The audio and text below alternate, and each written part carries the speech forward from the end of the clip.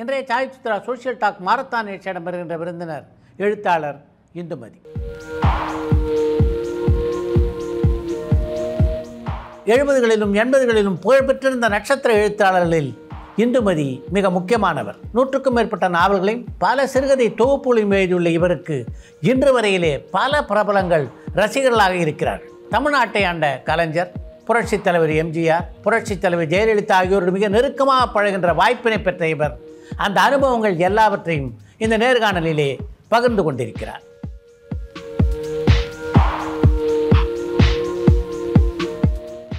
Chai with Chitra. Social talk. வணக்கம். வணக்கம்.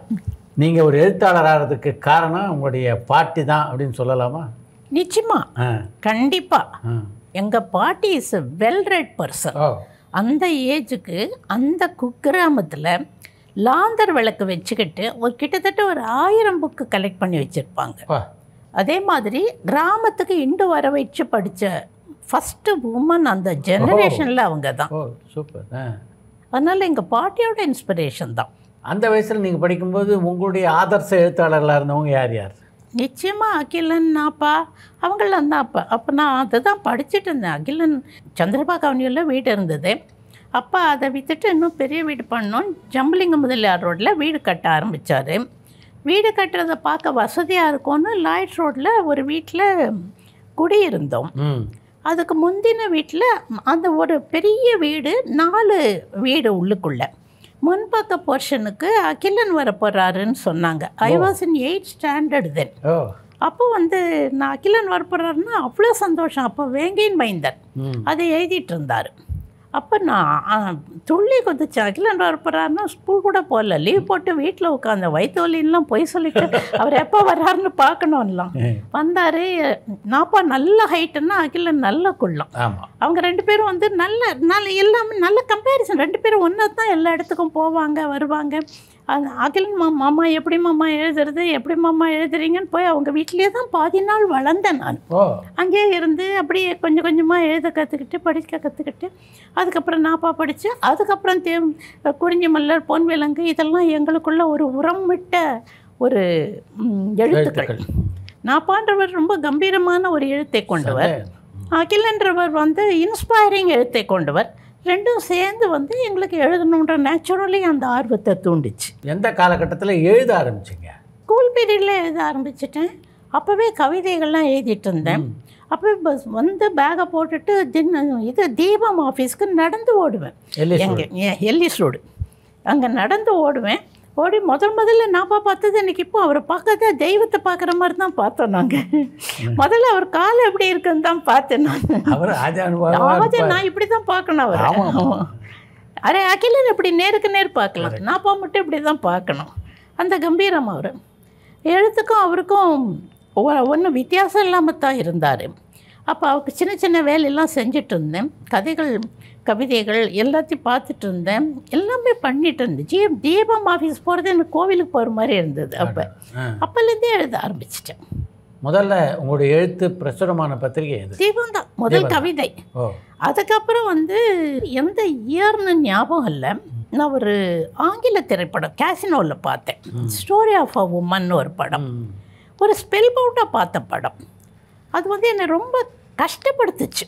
It has என்னதுன்னா அந்த அளவுக்கு ஒரு ஒரு எமோஷ்னல் மூவி அது படித்ததுக்கப்புறம் நான் அதையே வந்து ஒரு தீமாக்கி ஒரு சிறுகதை எழுதினேன். அப்போ நான் சினிமாவை. சினிமாவே அதுவே. எழுதி ஒரு முப்பது பக்கம் வந்தது. எனக்கு சிறுகதை எப்படி எழுதணுன்ற ஐடியாலாம் கிடையாது. முப்பது பக்கத்தையும் தூக்கிட்டு ஆனந்தவிடன் ஆஃபீஸ் போனேன். ரெட்டப்பண்ணல் பண்ணிட்டு பாவாடை தாவணி போட்டுக்கிட்டு மடித்து கட்டிக்கிட்டு போனோடனே நான் வந்து மணியனை பார்க்கணுன்னு சொன்னேன். உட்காருங்கன்னு சொல்லி என்னன்னு சொல்லி அனுப்புனாங்க. அங்கேருந்து வெளில வந்தார். யார் என்ன பார்க்கணுன்னு சொன்னது? அப்படின்னு கேட்டார். நான் தான் அப்படின்னேன். ஓ நீயா? என்ன விஷயம்? அப்படின்னாரு. கதை எழுதிட்டு வந்திருக்கேன். நீ கதை எழுதுறியா? அப்படின்னு சொல்லுங்க. சரி சரி கொடுத்துட்டு போ பார்க்குறேன். கொடுத்துட்டு வந்தேன். கதைக்கு டைட்டில் கிடையாது. தலைப்பு கிடையாது அதெல்லாம் வைக்கணும்னு தெரியாது. பேரும் வைக்கல அட்ரஸ் மட்டும் கிடையாது. என்ன அவன் டெலிஃபோன் நம்பர்னு அதை மட்டும் எழுதிக்கிட்டாரு. வீட்டுக்கு வரேன் உடனே ஃபோன் வந்துச்சு. என்ன உன் மனசுக்குள்ள பெரிய இந்திரா காந்தி நீ என்னமா எதுவுமே இல்லாமல் ஒன்று கொண்டு வந்து கொடுத்துருக்க? என்ன நினச்சிட்டு இருக்க? ரொம்ப நல்லா இருக்கு கதை. பப்ளிஷ் பண்ண போகிறோம். ஆனால் கதை இவ்வளோ முப்பது பக்கம்லாம் எழுதக்கூடாது. சின்னதாக எழுதணும். இதை நாங்கள் போடுறோம்னு சொல்லிட்டு போட்டாங்க. அந்த ஒரு கதைக்கு அப்புறம் மலருக்கு கதை கேட்டாங்க தீபாவளி மலருக்கு. ஸோ எங்களை நிறைய எழுத்தாளர்களை வளர்த்து விட்டது மணியன்தான் நிறைய பேர் இன்க்ளூடிங் ஜெயகாந்தன் நினைக்கிறேன் ஒவ்வொரு வாரம் முதிர கதை ஆனந்த ஆனந்த விகடன். குறிப்பாக மணியன்னு சொல்கிறத விட ஆனந்த விகடன்னு சொல்கிறது தான் கரெக்டாக இருக்கும். எல்லாருமே மிக நான் சிவசங்கரி இன் இன்ஃபேக்ட் சுஜாதா அதுக்கப்புறம் சாவி சுஜாதாக்கு. அப்படி எல்லாரையுமே வந்து வளர்த்து எல்லாம் நல்ல எழுத்துக்கள் எங்கே இருந்தாலும் அவங்க கண்கொத்தி பாம்பு மாதிரி இப்போ எடுத்து கொண்டு வந்துடுவாங்க அந்த விகடன் விகடன் முடித்த உடனே குமுதம். குமுதம் உடனே ஸ்வீகரிச்சுக்கிட்டாங்க. கிட்டத்தட்ட குமுதத்தில் வந்து பத்து தொடர் மேலே எழுதியிருக்கேன். என்னை வந்து குமுதத்தோட ஒரு ரொம்ப இன்டிமேட்டாக குமுதத்தோட ஒரு செல்ல பொண்ணு மாதிரியே என்ன ட்ரீட் பண்ணுவாங்க. அந்த மாதிரி அதுக்கப்புறம் குமுதம் கல்கி குங்குமம் அப்படி எல்லா பத்திரிகையிலையும் பரவலாக எல்லா பத்திரிகையும் எங்கள் காலம் வந்து பொற்காலம்ங்க. எங்களுக்கு வந்து இந்த ரெட் கார்பெட் வெல்கம் தான். அந்த ரைட்டர்ஸ்க்கு அந்த அப்போ ரைட்டிங் தவிர வேறு ஒன்றும் இந்த இதெல்லாம் கிடையாது. டிவி சீரியல் ஒன்றுமே கிடையாது. அதனால் அந்த ரைட்டிங் மட்டுமே படித்த காலம். எழுத்தாளர்களை கொண்டாடிய காலம் அது. நீங்கெல்லாம் ஒரு நட்சத்திர எழுத்தாளர்களா இருந்தவங்க அந்த காலகட்டம் அப்படி. இப்போ வந்து அந்த அங்கீகாரம் கிடைக்குமான்னு தெரியல எனக்கு சொல்ல முடியல. இப்போ இருக்கிறவங்க படிக்கிறாங்களா? படிக்கிறதை ஊக்குவிக்கிறாங்களா? இப்போ ப்ரெசன்ட் கவர்மெண்ட் நிறைய புக்ஸ் கொண்டு சிஎம் கூட நிறைய புக்ஸாக கொடுங்க அப்படின்னு சொல்கிறாங்க நிறைய லைப்ரரிஸ் திறக்கணும்னு பார்க்குறாங்க ஆனாலும் படிக்கப்படுறதா படுதா படிக்கிறாங்களா? அப்படின்ற ஒரு கொஷன் இருக்குது நீங்கள் எழுத்தாளர் ஆனதுக்கு உங்கள் வீட்டில் எப்படி இருந்தது வரவேற்பு? See எங்கள் அப்பா வந்து ரொம்ப ஸ்ட்ரிக்ட் அவர் வந்து ஒரு ஹிட்லர்னே பேர் அவருக்கு. எழுத்து பத்திரிகைலாம் வீட்டுக்குள்ளேயே வரக்கூடாது. எஸ்பெஷலி குமுதம் வீட்டுக்குள்ளே நுழையக்கூடாதுங்க. ஓ. விகடன் கூட வரக்கூடாது. அவ்வளோ ஸ்ட்ரிக்டாக இருந்தார். நான் மறைச்சு மறைச்சு திருட்டுத்தனமாக எழுதினேன். திருட்டுத்தனமாக எழுதி முதல்லலாம் அவருக்கு நான் எழுதுறதே தெரியாது. அதுக்கப்புறம் போஸ்டர் அடித்து தெரு தெருவாக நிறைய போஸ்டர் ஒட்டினாங்க என்னுடைய தொடருக்கு. அப்போ தான் வந்து எல்லாரும் அவர்கிட்ட கேட்டோடனே அப்போ தான் தெரிய வந்தது அவருக்கு. அதுக்கப்புறம் வந்து எழுதுறியா? படிக்காமல் எழுதுறியா? அவருக்கு படிக்காமல் நான் எழுதுறது பிடிக்கல. எங்கள் வீட்டில் எல்லாரும் வந்து டபுள் கிராஜுவேட்ஸு எல்லாருமே பிஹெச்டி பண்ணவங்க. நான் வந்து படிக்கலாமல் எழுதுறது வந்து அவருக்கு கொஞ்சம் கூட அதில் உடன்பாடு இல்லை. அவருக்கு எழுத்து மேலேயே ஃபஸ்ட்டு வெறுப்பு. அவர் அந்த காலத்தில் திரைப்படங்கள்லாம் டார்ச் லைட் எடுத்துகிட்டு போய் டயலாக் எல்லாம் எழுதினவர். வீட்டில் அந்த ஹெச்எம் போட்டு கிராம்ஃபோன் இருக்கும் ஆமா. அந்த இஸ் மாஸ்டர் வாய்ஸ் அதில் வந்து மொத்தம் மொத்தம் அவர் வந்து கண்ணகி அப்புறம் வந்து மனோகரா அதுக்கப்புறம் வந்து கலைஞரோட அந்த படம் என்னங்க? ஓடினாள் ஓடினாள் பராசக்தி பராசக்தி. இதெல்லாம் வந்து ஃபுல் டைலாகோட பா பிளேட் வரும். பார்க்கவே அழகாக இருக்கும். அதெல்லாம் எங்கள் அப்பா போட்டு போட்டு மனப்பாடம் பண்ணின திரைக்கதையிலையும் கதை கல்கினோட கல்கியோட பொன்னியின் செல்வன்லாம் ஹண்ட்ரட் டைம்ஸ் படிச்சிருக்காரு. அப்படி படிப்பவர் அப்படி திரைப்படங்கள் பார்ப்பவர் ஆனால் எங்களை அதுக்கு பர்மிட் பண்ணல. சினிமாவும் எங்களை அனுப்ப மாட்டார் படிக்கவும் விட மாட்டார். அப்படி வச்சுருந்தாரு. அந்த கட்டத்தில் அப்படி வந்து ஒரு ரிபல்லியனாக நான் எழுதி வெளியே வந்து அதுக்கப்புறம் எங்கன்னா பார்த்தா நான் இந்துமதியோட ஃபாதர்னு பெருமையாகவே சொல்லிக்குவார் அதை. எந்த காலகட்டத்தில் நீங்கள் எழுதுறீங்கன்னு அவருக்கு தெரிய வந்தது? Seventies seventy one seventy two முதல் ரியாக்ஷன் என்னவா இருந்தது? கோபம். வாட் எல்ஸ் கோபம். ரொம்ப கோவப்பட்டார் தூக்கி அடித்தார் புக்கெல்லாம் அதுக்கப்புறமா அடுத்த ஃபீஸெல்லாம் அப்படி விசிறி அடித்தார் பொறுக்கிட்டு போன்னு. கோவம். அவ்வளோ கோவம். உங்களுக்கு அப்பா அம்மா வச்ச பேர் என்ன? எனக்கு அப்பா அம்மா வச்ச பேர் வசுந்தரா. காரணம் என்னன்னா அதுக்கும் எங்கள் அப்பா வந்து வைஜெயந்தி மாலாவோட அம்மா வசுந்தரா தேவியோட. பரம ரசிகர். அப்படியெல்லாம் இருந்து அந்த பேர் அப்பா அம்மா வச்ச பேர் வசுந்தரா. வீட்டில் கூப்பிட்ட பேர் சரசா சரஸ்வதி. நீங்கள் ஏன் இந்துமதின்னு உங்களுடைய சகோதரி பேரை தேர்ந்தெடுத்தீங்க? அது ரொம்ப என் ஏன்னு எனக்கே தெரியாது. அவரே மணியன் கேட்டார் பெரிய இந்திரா காந்தியா உன் மனசில் எண்ணமா? இல்லை இல்லை இந்துமதியும் தான் எண்ணம். டக்குனு என்னையும் மீறி வந்தது அது. ஏன்? அதுக்கு ரீசனே கிடையாது. Why it has happen what what made me to say that உண்மை தெரியாது. ஸ்லிப் ஆஃப் த டங்கா என்னன்னு தெரியாது. ஆ இன்னொரு ரீசன் நாங்கள் அப்போ வந்து அமரதாரா அந்த வந்துட்டு புக்காக படிச்சுட்டு இருந்தேன். அந்த பீரியடில் தான் நாங்கள் பறந்தனோ வளர்ந்தனோ எங்கள் வீட்டில் அப்போ வந்து நான் பிறந்த உடனே என்னுடைய தாய் மாமனுக்கு தான் என்னை கட்டி கொடுக்கணும். அவர் பேர் ரங்கதுரை. அந்த கேரக்டர் பேர் இந்துமதி அதில். அதனால் என்னை இந்துமதி இந்துமதின்னு கூப்பிட்டாங்க. அது உள்ளுக்குள்ளே மனசில் பதிஞ்சிருக்கலாம். அதையும் நான் சொல்ல அந்த அதுவும் வந்து ஒரு காரணமாக இருக்கும். அந்த காலகட்டத்தில் எந்தெந்த எழுத்தாளர்களோடு உங்களுக்கு நல்ல பரிச்சயம் இருந்தது? எனக்கு ஆல்மோஸ்ட் எல்லா எழுத்தாளர்களோடையும் படித்தேன். எனக்கு ரொம்ப ரொம்ப என்னுடைய குருநாதர் அதாவது ஒரு ஏகலைவனாக இருந்து நான் கற்றுக்கிட்டதுன்னா ஜானகிராமன். ஜானகிராமன். ஜானகிராமன் தான் எங்களுக்கெல்லாம் இன்ஸ்பிரேஷன் நாங்கள் அப்படி பைத்தியமாக படித்தோம். கும்பகோணம் போனால் அந்த தெரு எதுன்னு தேடி கழிச்சு பாபு இங்கே இருந்திருப்பாரா? இந்த இடத்துல யமுனா இருந்திருப்பாளா? அப்படின்லாம் தேடி தேடி படிச்சிருக்கோம். பைத்தியகாரத்தனமாக துக்காம்பாளைய தெரு தேடி ஓடி இருக்கோம் நாங்கள் ஜானகிராமன் எங்கள் நிறைய பேருக்கு இன்ஸ்பிரேஷன் நீங்கள் நட்போடு இருந்த எழுத்தாளர்கள் யார் யாரை பட்டியலிடலாம்? பெரிய பட்டியல் நீண்ட பட்டியல்.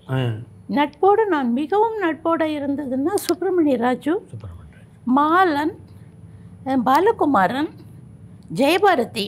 நாங்கள் ஒரு குரூப்பாக இருந்தோம். அதுக்கப்புறம் பார்த்திங்கன்னா அக்கி கண் அகிலன் கண்ணன் இப்போ. அதுக்கப்புறம் பார்த்தீங்கன்னா எல்லா எழுத்தாளர்களுடையுமே நாங்கள் எல்லாருமே நட்பாக இருந்தோம். இவங்களாம் ரொம்ப இன்டிமேட்டாக இருந்தோம் நாங்கள் நாங்கள் ஒரு குழுவாக இருந்தோம்.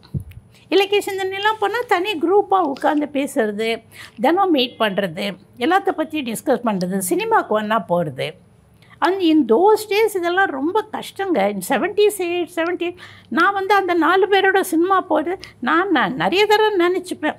இவர் ஒரு படம் எடுத்தார் தெரியுமா? அந்த நாலு பேருக்கு ஒரே ஒரு ஹீரோயின் விக்ரமன். விக்ரமன். அந்த படம் பேர் என்ன? புது புது புது வசந்தம்.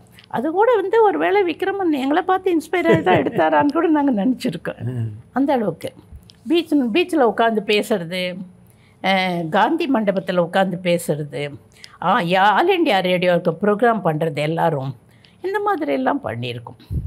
சிறுகதை எழுதுவது நாவல்கள் எழுதுவது இந்த ரெண்டில் எது கஷ்டமானது? எனக்கு சிறுகதை எழுதுறது தான் கஷ்டமாக இருக்குது எனக்கு நாவல் எழுதுறது கஷ்டமாகவே இல்லை. நான் தயாரே படுத்திக்கல எதுக்குமே நான் என்னை தயார்படுத்திக்கலைங்க. I never thought I'll become a writer true எதுவுமே வந்து it is so happen naturally happened எதுவுமே வந்து நான் இதாகணும் அதாகணும் இப்படி நினச்சி கூட நான் எதுலேயுமே வரலை. எது வருதோ அப்படி அப்படியே இது வரணும் இதை பண்ணணும். ஆனால் உட்காந்துட்டுன்னா அதெல்லாம் நான் ரொம்ப சின்சியராக இருப்பேன்.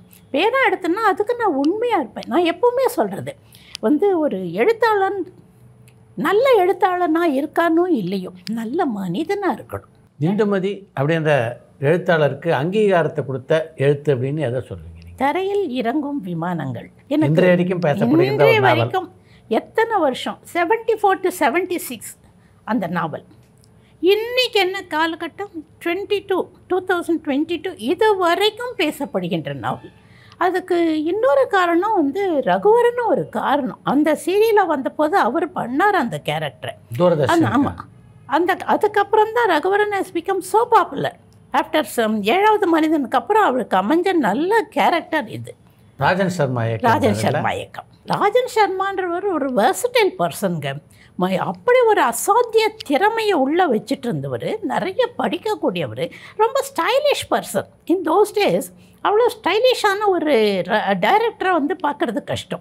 அவர் வந்து எனக்கு நான் அஸ்வினி பத்திரிகை நடத்திட்டு இருந்தேன். தினம் வருவாருங்க என் ஆஃபீஸ்க்கு அதை வந்து ரெண்டு மூணு ப நோட்டாக எழுதி எடுத்துகிட்டு வருவார். முதல்ல நான் சொன்னேன் சர்மா நீங்கள் ஒன்று பண்ணுங்கள் நீங்கள் எனக்கு திரை விமர்சனம் எழுதுங்க. என்ன அற்புதமாக திரை விமர்சனம் எழுதினார்னா அதில் ஒரு வரி வந்து நிறைய காயப்படுத்தி என்னை வந்து கும்பல் கூட அடிக்கிற லெவலுக்கு போனாங்க சர்மாவையும் என்னையும். டி டி ராஜேந்தர் கையில் தமிழ் சினிமா என்பது டி ராஜேந்தர் கையில் கிடைத்த பூமாலைன்னு எழுதினார். அந்த ஒரு வெரி போல்ட் வெஞ்சர் அந்த காலத்தில் குமுதத்தில் எழுதுவாங்க விமர்சனம்ன்றது நச்சுன்னு இருக்கும். காத்தவராயா உன்னை பார்த்தவர் பலர் சிரித்தவர் சிலர் ரசித்தவர் இல்லர். இது குமுத விமர்சனம். இல்லை இதை விட கடுமையான இதை விமர்சனம். விட கடுமையான விமர்சனம். தாய் தாய்மகளுக்கு கட்டிய தாய்மகளுக்கு தாலி கட்டிய தாலி தான். நீதிக்கு பின் பாசம் பாதிக்கு பின் மோசம். இதெல்லாம் விக குமுதத்தில் தான் வந்தது. அதுக்கப்புறம் அஸ்வினியில் வந்தது. அந்த மாதிரி ஷார்ப்பு அந்த மாதிரி ஈட்டி முனையால் எழுதப்பட்ட விமர்சனமாக இருந்தது அவர்கிட்ட ஒரு மிகப்பெரிய பிரம்மாண்ட திறமை இருந்தது. நல்லா வருவார் ராஜன் சர்மா. இதுக்கப்புறம் நிறைய மலையாளம் சீரியல் பண்ணார். தமிழில் வந்து ரெண்டு மூணு கார்ப்பரேட் ஃபிலிம்ஸ் எல்லாம் பண்ணார். அப்புறம் ஏன் அவர் ஷைன் ஆகலைன்னு எனக்கு தெரியல. எப்படிப்பட்ட எதிர்மறையான விமர்சனங்களை எல்லாம் உங்கள் விமர்சனம் பெற்றது?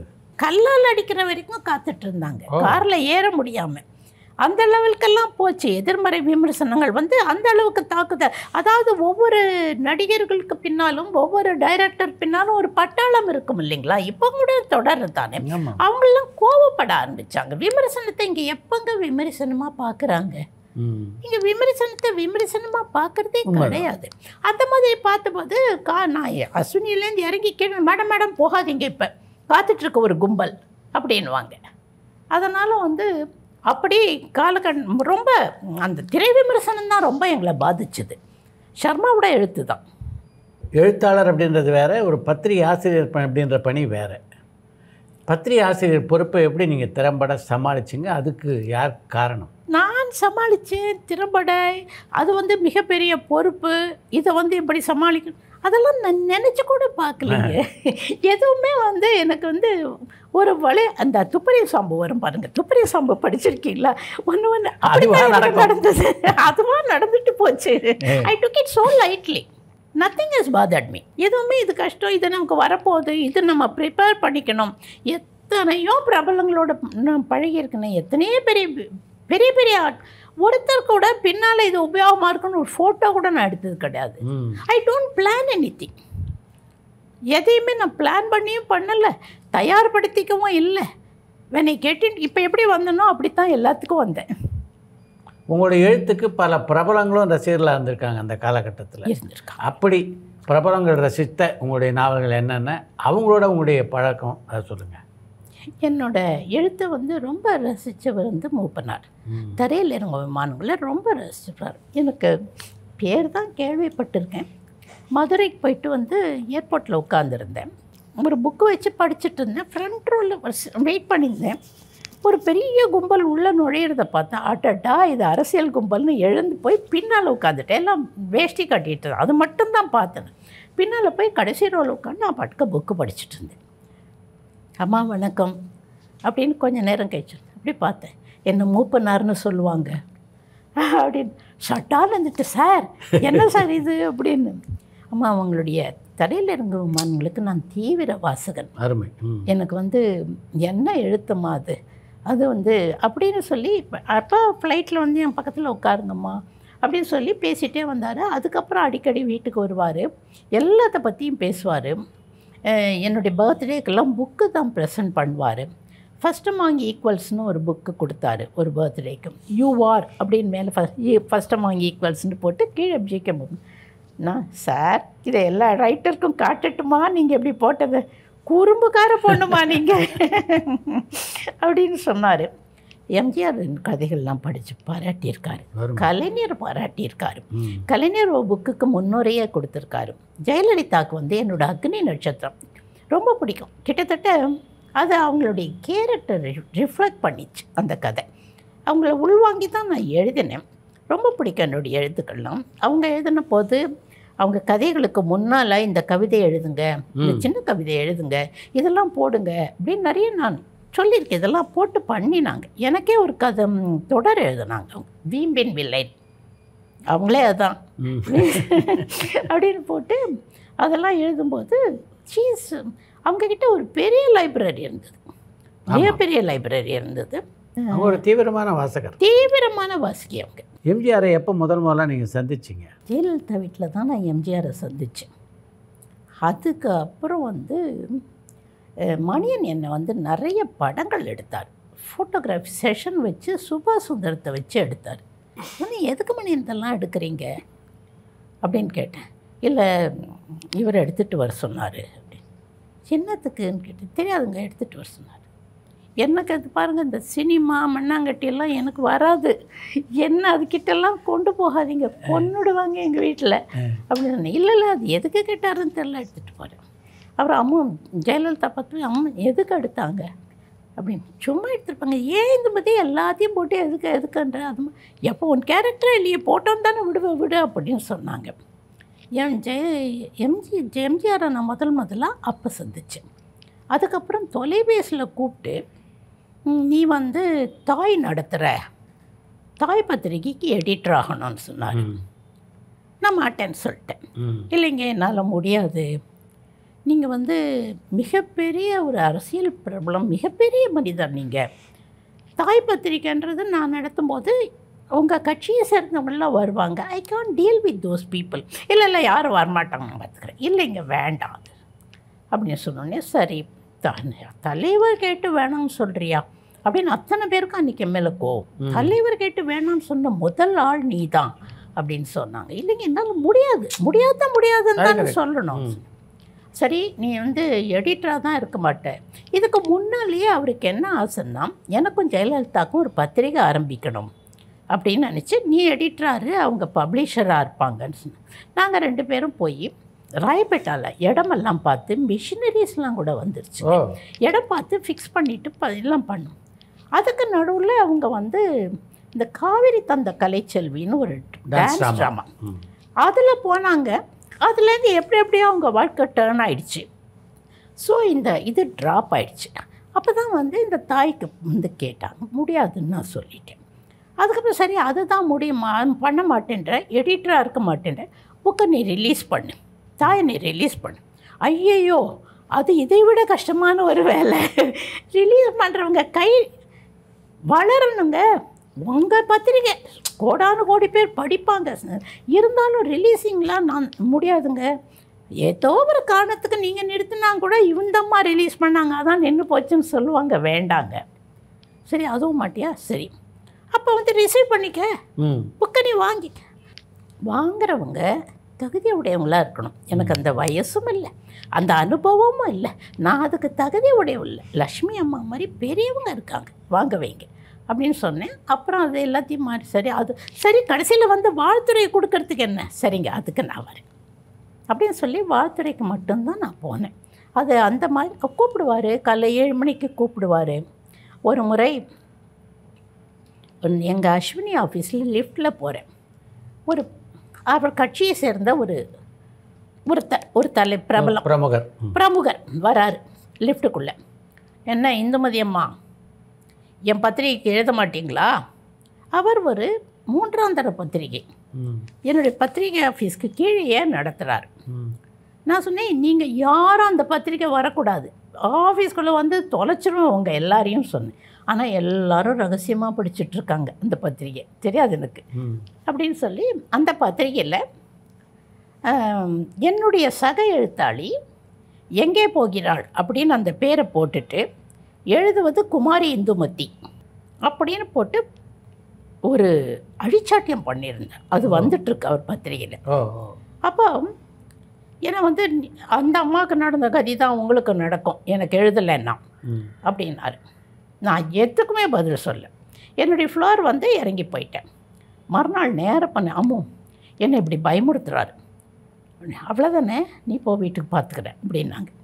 மறுநாள் எம்ஜிஆர் அந்த அவரை கூப்பிட்டு நீ எப்படி வந்து அவங்கள பயம் இப்படி கேட்பேன் நீ என்ன பண்ணுற ஒரு ஆயிரம் பேர் உள்ள சபையை கூப்பிட்டு என்ன பண்ணுவியோ தெரியாத? அந்த அம்மா கிட்ட மன்னிப்பு கேட்குறேன் எல்எல்ஏ மாடிங்கில் ஒரு லிட்ரரி மீட்டிங்னு வச்சு அந்த அந்த பிரமுகர் அம்மா இந்துமதி அம்மா நான் த மனப்பூர்வமாக மன்னிப்பு கேட்டுக்கிறேன். நான் எதுக்கு கேட்குறேன்னு உங்களுக்கு தெரியும் எனக்கு தெரியும். வேறு யாருக்கும் தெரிய வேண்டிய அவசியம் இல்லை. என்னை மன்னிச்சிருங்க. அப்படின்னாரு. அந்த அளவுக்கு எம்ஜிஆரோ ஜெயலலிதாவோ எனக்கு அப்படி ஒரு பாதுகாப்பு கொடுத்தாங்க. அவங்க கிட்ட வந்து ஒரு அந்த பாசம் அந்த அன்பு அப்படி ஒரு அன்புமயமானவருங்க அவர். அப்படி பாசமானவர். அவ்வளோ ப்ரொடெக்ட் பண்ணாங்க. எல்லா விஷயத்துலையும் இதை பண்ணு இது பண்ணாத. இந்த மாதிரி நான் ஒரு டைம் அந்த நேரத்தில் நான் சுடிதார் போட்டேன். இவர் எழுத்தாளி தானே. கேட்குற தலைவர். இதெல்லாம் போடலாமா? புடவை கட்டு. அவருக்கு புடவை ரொம்ப பிடிக்கும் பிடிக்கும் புடவை கட்டின் மேலே. அப்படின்னு அவரும் குட்டியோண்டு கருப்பு பொட்டு வைப்பாங்க. ம். என்ன இந்துமதி அப்படியே அப்படியே எடுத்தாங்க. ஜெயல் இது யார் வைப்பாங்க தெரியுமா நம்மள. இது வைக்கக்கூடாது இனிமேனி அப்படின்னு அவங்க நெத்தியில் இவ்வளோ பெரிய இந்த சிவப்பு போட்டு அவங்க வச்சது தான் இந்த மாதிரி. இதை எடுத்து ஒட்டினாங்க. ராஜமா எனக்கு ஒரு பொட்டு கொண்டு வா. அப்புறம் அந்த பொட்டு எடுத்து. அந்த அளவுக்கு ஆதரவானவங்க அந்த அளவுக்கு அன்பானவங்க அந்த அளவுக்கு மனிதர்களை நேசிப்பாங்க நேசிச்சாங்க. நான் இப்போ பார்க்குற அந்த ஜெயலலிதா நான் அப்போ பார்க்கல ஜெயலலிதாவோட நீங்கள் பழகிய தருணங்களில் உங்களால் மறக்க முடியாததுன்னு எதை சொல்றீங்க ஒவ்வொரு வினாடிகளுமே மறக்க முடியாது. நிறைய வெளியில் சொல்ல முடியாது. சொல்லவும் கூடாது. அவங்க பட்ட கஷ்டங்களும் எனக்கு தெரியும். மனத்துயரங்கள். மனத்துயரங்கள் வந்து அவங்க அடைஞ்ச மாதிரி யாருமே அடையலை. எல்லாத்தையும் உங்ககிட்ட பரிமாறிட்டு இருக்காங்க. நிறைய விஷயங்கள். பரிமாறாததும் இருக்கும். ஆனால் most of the things I know. She used to tell me she used to weep to me she used to cry to me and அவங்க ஒரு மாதிரி என்னன்னா நான் அப்போ மருவத்தூருக்கு போயிட்டு இருந்தேன் முத மருவத்தூருக்கு அசைன்மெண்ட்டாக தான் போனேன். நான் வந்து குங்குமத்தில் எழுத சொன்னாங்க. ஞாபகம் இருக்குல்ல? நானும் சுபாஷ் சுந்தரம் தான் போயிருந்தோம். பொட் பாவை சந்திரன் வந்தார். பாவைச்சந்திரன். பொட்டல் காடுங்க அது. அப்படி ஒரே ஒரு சின்ன பில்டிங் பில்டிங் அது கூட சிதிலமான ஒரு பில்டிங் அவர் வந்து எல்லாம் எது கிள்ளி போட்டார்? என்னவோ ஆச்சு இந்த ஜெயலலிதா நான் வீட்டுக்கு வந்து எங்கள் வீட்டு ட்ராயிங் ரூம்லேருந்து ஃபோன் பண்ணுறேன் ஜெயலலிதா வந்து இந்த மாதிரி கிளி போட்டாருங்க. உடனே வந்து சுருட்டாயிடுச்சுங்க. என் கையில் சுருட்டு அடவா இந்த மாதிரி அவன் காலடியிலேருந்து எடுத்திருப்பான். நீ போய் அதை நம்புகிறேன் பூஷணிக்கா வர வைக்க சொல்லு நான் நம்புகிறேன் அப்படின்னாங்க. சரி அடுத்த வாட்டி குமுதத்தில் நம்ம இன்னும் ஒரு சப் எடிட்டரோட டாட்டர் கூட போயிருந்தேன். அவங்க அம்மா எப்போ கல்யாணம் ஆகும்னு கேளு கூட்டிகிட்டு போனாங்க கூட்டிகிட்டு போனேன். கூட்டிகிட்டு போனேன் ரெண்டு பேரும் உட்காரும் உட்கார்ந்த உடனே ஒரு வேப்பிலையை கிள்ளி போட்டார் அந்த பொண்ணு கையில். இவ்வளோ பெரிய தாமரைப்பூ ஆயிடுச்சு. அது அந்த பொண்ணுக்கிட்ட வாங்கி என்கிட்ட கொடுத்தாரு. இது என்ன மகளே அப்படின்னு. தாமரைப்பூ. இது அன்று உன் தோழி உன்னிடம் என்ன சொன்னாள்? அடிகளார் பூஷணிக்காய் வரவழைத்து தருவாரா என்று கேட்டாள் அல்லவா? எதற்காக உன் தோழிக்கு பூஷணிக்காய் மகளே? அவளுக்காக தேவலோக தெய்வீக பதவிகள் எல்லாம் காத்து கொண்டிருக்கிற போது. ம். இந்த வார்த்தை வந்து ஒரு இன்ச்சு எனக்கு மறக்கலைங்க. ஒரு இக்கைச்சு கூட மறக்கலை. சரின்னு வந்தேன். இத்தனைக்கும் ஜெயலலிதா சொன்னது அவருக்கு தெரியாது. தெரியாது. எதான் கேட்குறேன் எங்கள் வீட்டு டிராயிங் ரூமில் இங்கேருந்து நான் ஃபோனில் பேசியிருக்கேன். நானும் அவங்களும் ஃபோனில் பேசின matter how good it reach யாரும் போய் சொல்கிறதுக்கு கூட சான்ஸ் இல்லை. எப்படி போச்சு? எப்படி அவருக்கு தெரியும்? நான் வந்து சாயந்தரம் வந்த உடனே இந்த மாதிரி கேட்டார். அப்படியா? நம்ம போவோமா. சரி போகலாம் அப்படின்னு. மறுநாள் அங்கே கணேசன்ற நினைக்கிறேன் எம்எல்ஏ எல்லாம் அரேஞ்ச் பண்ணார். சிஎம் இவர் எம்ஜிஆர் தான் அரேஞ்ச் பண்ணார். நாங்கள் ரெண்டு பேரும் மறுநாள் காலையில் அஞ்சு மணி அஞ்சரை மணி கிளம்புறதான்னா வழியெல்லாம் எல்லாத்தையும் ஏற்பாடு பண்ணிட்டாங்க. ஜெயலலிதா வராங்கன்னா அந்த பந்தோபஸ்தெல்லாம் பண்ணியிருக்காங்க. அப்போ காலையில் ஆறு மணி அழுதுகிட்டே சொல்கிறாங்க நான் வரல இந்த மச்சி. ஆ. நீ போ. இது அவங்களுக்கு ரொம்ப ரொம்ப ரொம்ப சகஜம். அப்படியே துள்ளி குச்சி ஒன்றத்துக்காக சந்தோஷப்படுறதும் அன்னைக்கு சாயந்தரமே கண்ணீர் விட்டு கதறதும் இந்த மாதிரி மாறி மாறி ஒரு சந்தர்ப்பங்கள் சூழ்நிலை அவங்க வாழ்க்கையில் நிறைய நடந்திருக்கு. ஏன் வரலன்றதுக்கு சொன்னாங்களா? காரணம் இன்னைக்கு வேண்டாங்க. சொன்னாங்க. வேண்டாம். நீங்கள் போனீங்களா அப்புறம்? நான் போனேன். ஆ. நான் அப்போ நான் போகட்டுமான்னு கேட்டேன். நீ போ இந்த மாதிரி நான் வரல நான் நான் போனேன். நான் போனேன். கண்ணதாசன் கூட்டிகிட்டு போனேன். போக ஆசைப்பட்டார். மரகதம் சந்திரசேகர் வர ஆசைப்பட்டாங்க. அந்த பாம்பே ராமச்சந்திரன் தானே. அங்கே பாம்பேலேயோ ஏதோ ஒரு இடத்துல கவர்னராக இருந்தார். அவர் தானே. ஆமாம் பா. ராமச்சந்திரன். ஆமாம் பா ராமச்சந்திரனை கூட்டிகிட்டு போனேன். கண்ணதாசனை கூட்டிகிட்டு போனதுக்கு மரகதம் சந்திரசேகர் வந்தாங்க. அப்போ சொன்னார் மகளே நீ செடியிலிருந்து விழுந்து வாடிப்போன மலர். ஆனால் நீ செடியில் மீண்டும் போ பூத்து குலுங்க போகிறாய். மறுநாளே அவங்களுக்கு சென்ட்ரல் மினிஸ்டர் இது ப- பதவி கிடைச்சது. மறுநாள் வெரி நெக்ஸ்ட் டே அங்கே போயிட்டு வந்த உடனே கண்ணதாசனை கூட்டிகிட்டு போனேன். கண்ணதாசன் கூட்டிகிட்டு போனேன். அவர் நான் அவருக்கு ஒய்ஃப் வந்து வந்திருந்தாங்க. அப்போ வந்து மகனே நீ நூற்றி எட்டு விளக்கு பூஜை பண்ணிட்டு போ. அமெரிக்கா கிளம்புறாரு. நூற்றி எட்டு விளக்கு பூஜை பண்ணிட்டு போ. ஆ பண்ணுறேன்னு சொன்னார். ஆனால் அவர் பண்ணல. கிளம்பிட்டார். பண்ணலை. அங்கேருந்து ஃபோன் ரொம்ப சீரியஸ்னு ஃபோன் காந்தி ஃபோன் பண்ணார். என்னன்னு என்ன இந்த மாதிரி என்னை போய் கேட்டுட்டு வரீங்களா? நான் உங்கள் வீட்டிலேருந்து கேட்டாங்க. நான் போகிறேங்கன்னு போய் கேட்டேன். போய் கேட்டேன் சார் என்னாச்சு? அவன் உடைந்து போன மண்பாண்டம் இனி திரும்பி வர மாட்டான் தெளிவாக சொன்னார். தெளிவாக சொன்னார். ஆ. வரல அவர். இதெல்லாம் எப்படி? இது என்ன அமானுஷ்யம்? இது என்ன? எனக்கு தெரியாமல் இருந்தது. அந்த காலத்தில் பிரபலமாக இருந்த ஒரு நடிகை. அவங்கள இன்டர்வியூ பண்ண சொன்னார் மணியன். அதுக்கு நான் போயிருந்தேன். நீ என்ன அடிக்கடி மருவத்தூர் போறியா? அப்படின்னு என்ன கேட்டேன். ஆமாம் போகிறேன் இனிமேல் போகாத. வேறு நடிகை? ஆமாம் ஆ உங்ககிட்ட. ஆமாம் ம். இனிமேல் போகாத. அப்படியா? போகாதன்னு கேளு. உனக்கு நான் அம்மா மாதிரி சொல்கிறேன் சரி போகல அப்படின்ட்டு அதுக்கப்புறம் நான் போகலை. அவங்க என்னை விட்டு போகாதே மகளே என்னை விட்டு போகாதே மகளே அப்படின்னு நிறைய தரம் அடிகளார் அவங்க சொன்னாங்க. முதல் முதல்ல குங்குமத்தில் எழுதின போது அடிகளார் போட்டு இந்த பக்கம் விஜயகுமாரோட சைக்கியாட்ரிஸ்ட் விஜயகுமாரோட எதிர்ப்பு இதெல்லாம் என்னங்க? இதெல்லாம் ஃப்ராடுன்னு அவர் கொடுத்தது ரெண்டு பக்கமும் போட்டோம் நாங்கள் அப்போ வந்து என்னை கல்லால் அடிப்போம் கொலை பண்ணுவோம் காரில் தானே வருவேன் நீ என்ன பாருன்னு அடிகளார் பக்கத்துல இருந்தே எனக்கு த்ரிட்டன் பண்ணாங்க. இப்படி அப்படி நீ எழுதலாம் அப்படின்னு யார் பண்ணாங்க என்னாலும் தெரியும் ஃபோனில் தான் வரும் திருட்டன் அதெல்லாம் நான் கவலைப்படல. எனக்கு வந்து மிகப்பெரிய பலங்களா இவங்கெல்லாம் இருக்கும்போது நான் ஏன் கவலைப்படணும்னு விட்டுட்டேன். அப்போது இந்த மாதிரி இத்தனை பெரிய பிரபலங்களையும் அவருக்கு சொல்லியிருக்காரு. அது என்னதுன்னு எனக்கு புரியல. அந்த மனுஷன். ம். அப்புறம் நான் போகலை. கண்ணதாசனுக்கு அப்புறம் நான் போகவே இல்லை அந்த பக்கம். இப்போ அது எப்படி எப்படியோ வளர்ந்து எங்கெங்கேயோ இருக்குது பங்காரு அடிகளார் அந்த அளவுக்கு சக்தி வாய்ந்தவர் அப்படின்னு நீங்கள் நம்பினீங்க. அந்த அளவு அவருக்கு தொடர்பு இருந்தது. ஏன் ஒரு நடிகை சொன்னதுக்காக அவரோட பார்க்குறத நடிகை சொன்னதுக்காக இல்லைங்க. எனக்கு அதில் ஈடுபாடு இல்லை. எல்லாம் ஒவ்வொருத்தராக கூட்டு போதுனாங்க குங்குமம் எழுத சொன்னாங்க போனேன். எழுதி கொடுத்தா த்ரிட்டன் பண்ணாங்க. ஒவ்வொருத்தராக வர சொன்னாங்க போனேன். எல்லார் கூடயும் தான் போனேன். நான் தனியாகவெல்லாம் போகல. அடுத்து நான் இப்போ நான் பால்யூ. நானும் பால்யும் கலைஞன் பதிப்பகம் மாசிலாமணி. அவங்களோட போவோம் உட்காருவோம். அங்கே ஒரு விளையாட்டாக தான் போனோம் அங்கே. உங்களுடைய அனுபவத்தில் நீங்கள் ஒரு சாமியினுடைய பிரதிநிதியாக இருக்க அந்த அடிகளார் போன்றவர் பற்றி என்ன நினைக்கிறீங்க? இல்லை எனக்கு எனக்கு எப்போவுமே வந்து இந்த அமானுஷ்யம் பிடிக்கும். என்னது அது? அப்படின்னு ஒரு க்யூரியாசிட்டி எனக்குள்ளே உண்டு. எனக்கு இந்த அக்கல் பவர்னா என்ன? நான் நிறைய அதை பற்றின புக்கெல்லாம் நான் படித்ததுனால எழுதியிருக்கேன் நான். ஆமாம் குமுதத்தில் எழுதியிருக்காது. அதனால இது என்னன்னு தெரிஞ்சுக்கிற ஒரு ஆர்வத்தின் அடிப்படையில் தான் நான் போனேன். ஆனால் அதை தெரிஞ்சுக்க முடியாதுன்னு எனக்கு தெரிஞ்சது. இதெல்லாம் வந்து இப்படியெல்லாம் போய் போய் எல்லாம் தெரிஞ்சுக்க முடியாது. That is something else that has got a long way long path அது தெரிஞ்சுக்க முடியாது அப்படின்ட்டு புரிஞ்சிருச்சு எனக்கு. அதை தெரிஞ்சுக்கத்தான் நான் வந்து ஒரு ஐயா, ஒரு அந்த க்யூரியாசிட்டியோடு தான் நான் போனேன். இயல்பாக உங்களுக்கு வந்து ஆன்மீகத்தில் மிகப்பெரிய நாட்டம் உண்டா? நிறைய பெரிய நாட்டம் ம். நான் ஆன்மீகவாதின்னு சொன்னால் நம்புவேன்.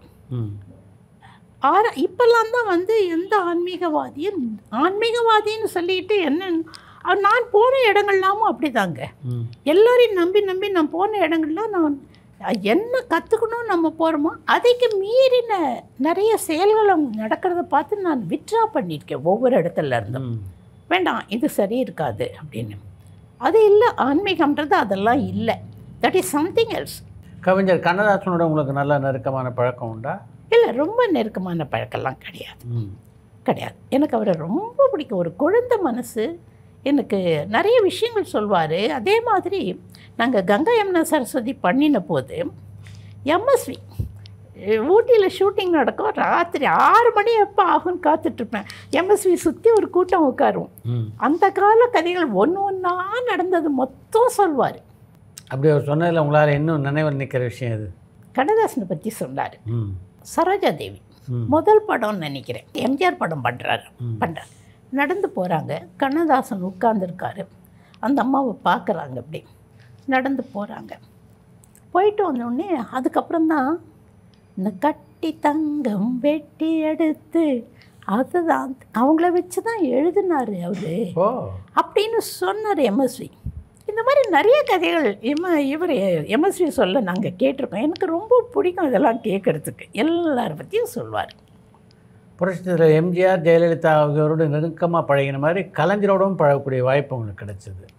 அந்த தருணங்களை பற்றி சொல்லுங்கள் எனக்கு அவர் கலைஞர் எம்ஜிஆர் வந்து ஒரு மாதிரி பிரமிப்புன்னா கலைஞர் இன்னொரு மாதிரி பிரமிப்பு.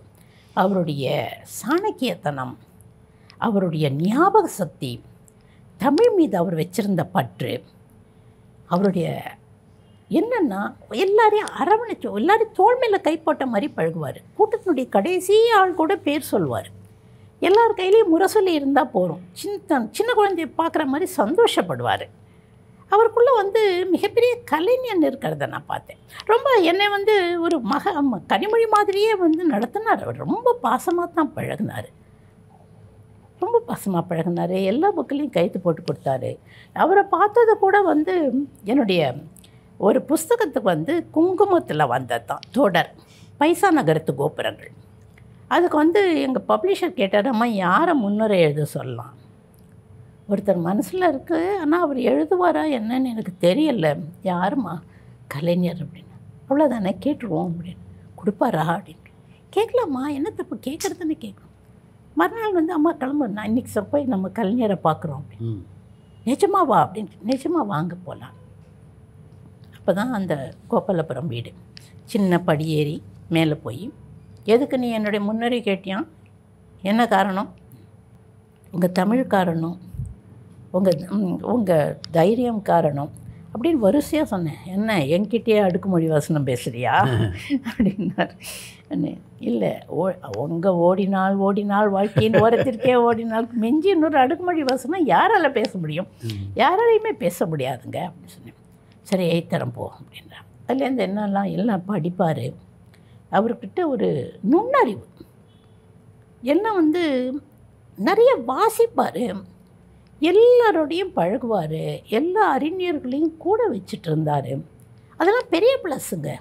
அது வந்து ஜெயலலிதா பண்ணினாங்க நிறுத்திட்டாங்க. பண்ணலை.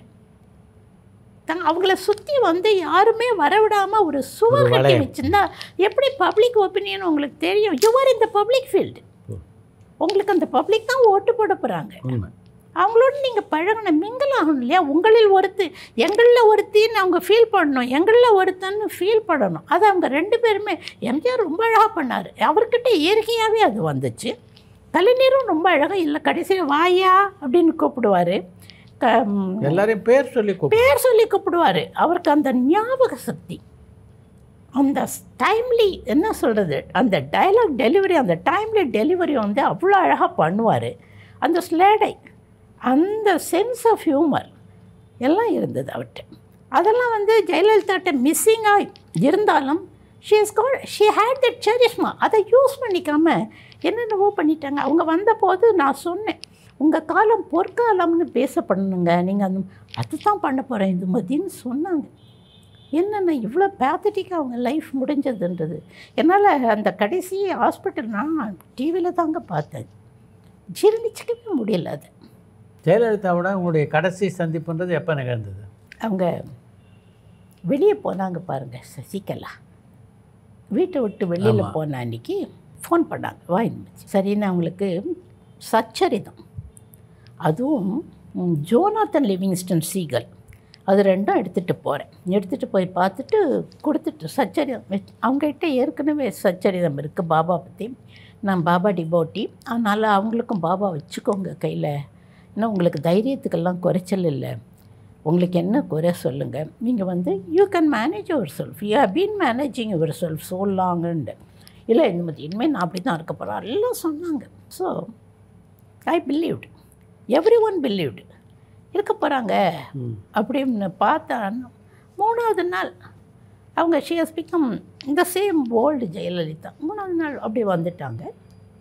மஸ்ட் பி ப்ராபப்ளி அவங்களுக்கு ஒரு ஒரு இது தேவைப்பட்டதுங்க. அவங்க கூடவே இருபத்தி நாலு மணி நேரம் இருக்கக்கூடிய ஒரு அண்மை தேவைப்பட்டது. அவங்களுக்கு கான்ஃபிடென்ஷியல் பர்சன் தேவைப்பட்டது. ஏன்னா அது ரொம்ப நல்லா என்னை கூப்பிட்டாங்க. என்னால் வந்து அவங்க கூட வந்து வேனில் ஏறி ஊர் ஊராக ட்ராவல் பண்ணி அவங்க வீட்டில் இருபத்தி அதெல்லாம் என்னால் முடியவே முடியாது. I hate my family to take care. எல்லாம் இருக்குது என்னால் முடியாதுங்க.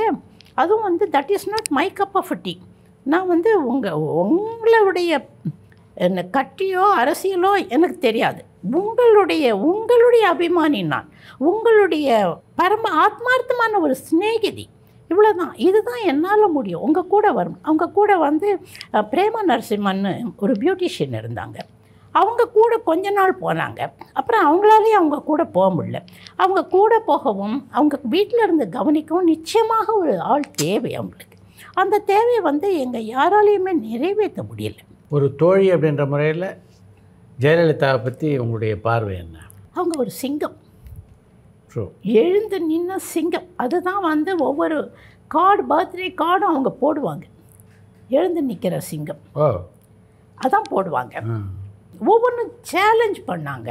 அதே நே அது எனக்கு எனக்கு முந்தின ஜெயலலிதா அந்த முந்தின ஜெயலலிதா எனக்கு தெரிஞ்ச வரைக்கும் ஒரு இன்னசென்ட் அப்பாவி ஜெயலலிதாவை தான் நான் பார்த்துருக்கேன். காற்றுல ஆடுற ஆடினா அறந்து போகணுமே அந்த மெல்லிஸ் தங்கத்துக்கு கூட ஆசைப்படாதவங்க போடாமல் இருப்பாங்க. எது அதிலெல்லாம் அவ்வளோ இன்ட்ரெஸ்ட் அவங்களுக்கு கிடையாது.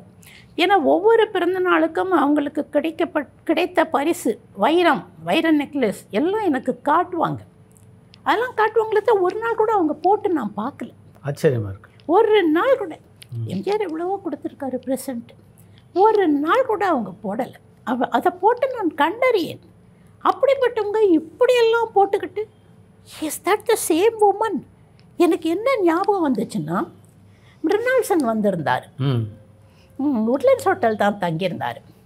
அவரை வந்து கூட்டிகிட்டு அவளை அப்படி தான் பார்த்தேன். அப்போ ஸ்பெல் பவுண்டாக பார்த்துட்டு I want to meet this heroine அப்படின்னு சொன்னார். Sripriya yes Sripriya next day I took him. She was shooting somewhere else. அங்கே கூட்டிகிட்டு போனோடனே இஸ் தட் தட் ஹீரோயின் அப்படின்னு கேட்டார். Yes she was in a different costume no no no I don't want to see her. I want to read in that image I don't want to see her. Let us go let's go அப்படின்ட்டாரு. சரின்னு வந்துட்டான். அதுதான் எனக்கு I wanted to read in that image Jayalalithaa. ஜெயலலிதாவுடைய இழப்பு எப்படிப்பட்ட ஒரு பாதிப்பை உங்களுக்கு ஏற்படுத்தி ரொம்பங்க. அன்னைக்கு இன்னைக்கு நாளைக்கு நினச்சா கூட a woman a powerful woman true intelligent lady beautiful woman woman person of her calibre does she deserve death அந்த மாதிரி? தேவையாது. ஏ கடவுளோட கணக்கு என்ன? என்ன கணக்கு? ஏன்னா தனிமைங்கிறது ரொம்ப கொடுமையான விஷயங்க. யாரும் இல்லாமல் அம் அம்போன்னு கஷ்டம். ரொம்ப வந்து டிவிலேயே என்னால் பார்க்க முடியல. டிவிலே நான் ரொம்ப கஷ்டப்பட்டது பார்க்குறதுக்கு. ஒரு வாரம் பத்து நாள் ஆச்சு. To recover to cur recollect myself நெருக்கமாக பழகினதுனால இன்னும் ரொம்ப பாதிப்பு கஷ்டமா அதிகமா. ரொம்ப கஷ்டப்பட்டேன். நான் டெல்லியில் இருக்கேன். ஒரு விஷயமா போயிருக்கேன். அம்மா அம்மா கிளம்புங்க அப்படின்னு நாங்கள் மூப்பனார் வந்து இந்தியன் பேங்க் கெஸ்ட் ஹவுஸில் தான் தங்கியிருந்தேன். என்ன சார்? உங்கள் தோழி வந்து உண்ணாவிரதம் இருக்காங்க. பீச்சில் பீச்சில் அதனால் நீங்கள் உடனடியாக போய் அவங்க கூட இருக்கணும். போங்க. அப்படின்னு ஃப்ளைட் போட்டு ஏற்றி அனுப்பி விட்டார். வந்தேன் பீச்சில் கிட்ட போனேன். குறிஞ்சி முத்தன்ட்டேன் அதெல்லாம் யாருங்க பண்ண முடியும் அவங்க கிட்ட போய்? அந்த அளவு நட்பு இருந்தது உங்களுக்கு. யாருங்க பண்ண முடியும்? உங்களை ஜெயலலிதான்னு யாரும் அங்கே கூப்பிட முடியும்? நேராக கலைஞர் அரெஸ்ட் பண்ணியிருக்காங்க. அவர் அப்பல்லோ ஹாஸ்பிட்டலில் இருக்கார். நான் போய் பார்க்குறேன். பர்மா பர்மான்னு காட்டுறாரு. ரொம்ப கஷ்டமாக இருந்துச்சு எனக்கு. இங்கெல்லாம் கண்ணி கண்ணி இருந்துச்சு. சரி நான் அங்கேருந்து நேராக போயஸ் கார்டன் வந்தேன். நீ எங்கே போயிட்டு வரேன்னு எனக்கு தெரியும். அங்கே தான் போயிட்டு வரேன். நீங்கள் செஞ்சது நல்லா இருக்கா? ஆடாடா கேட்டீங்க. சூப்பர். நீங்கள் செஞ்சது நல்லா இருக்கா? செய்யலாமா அப்படி?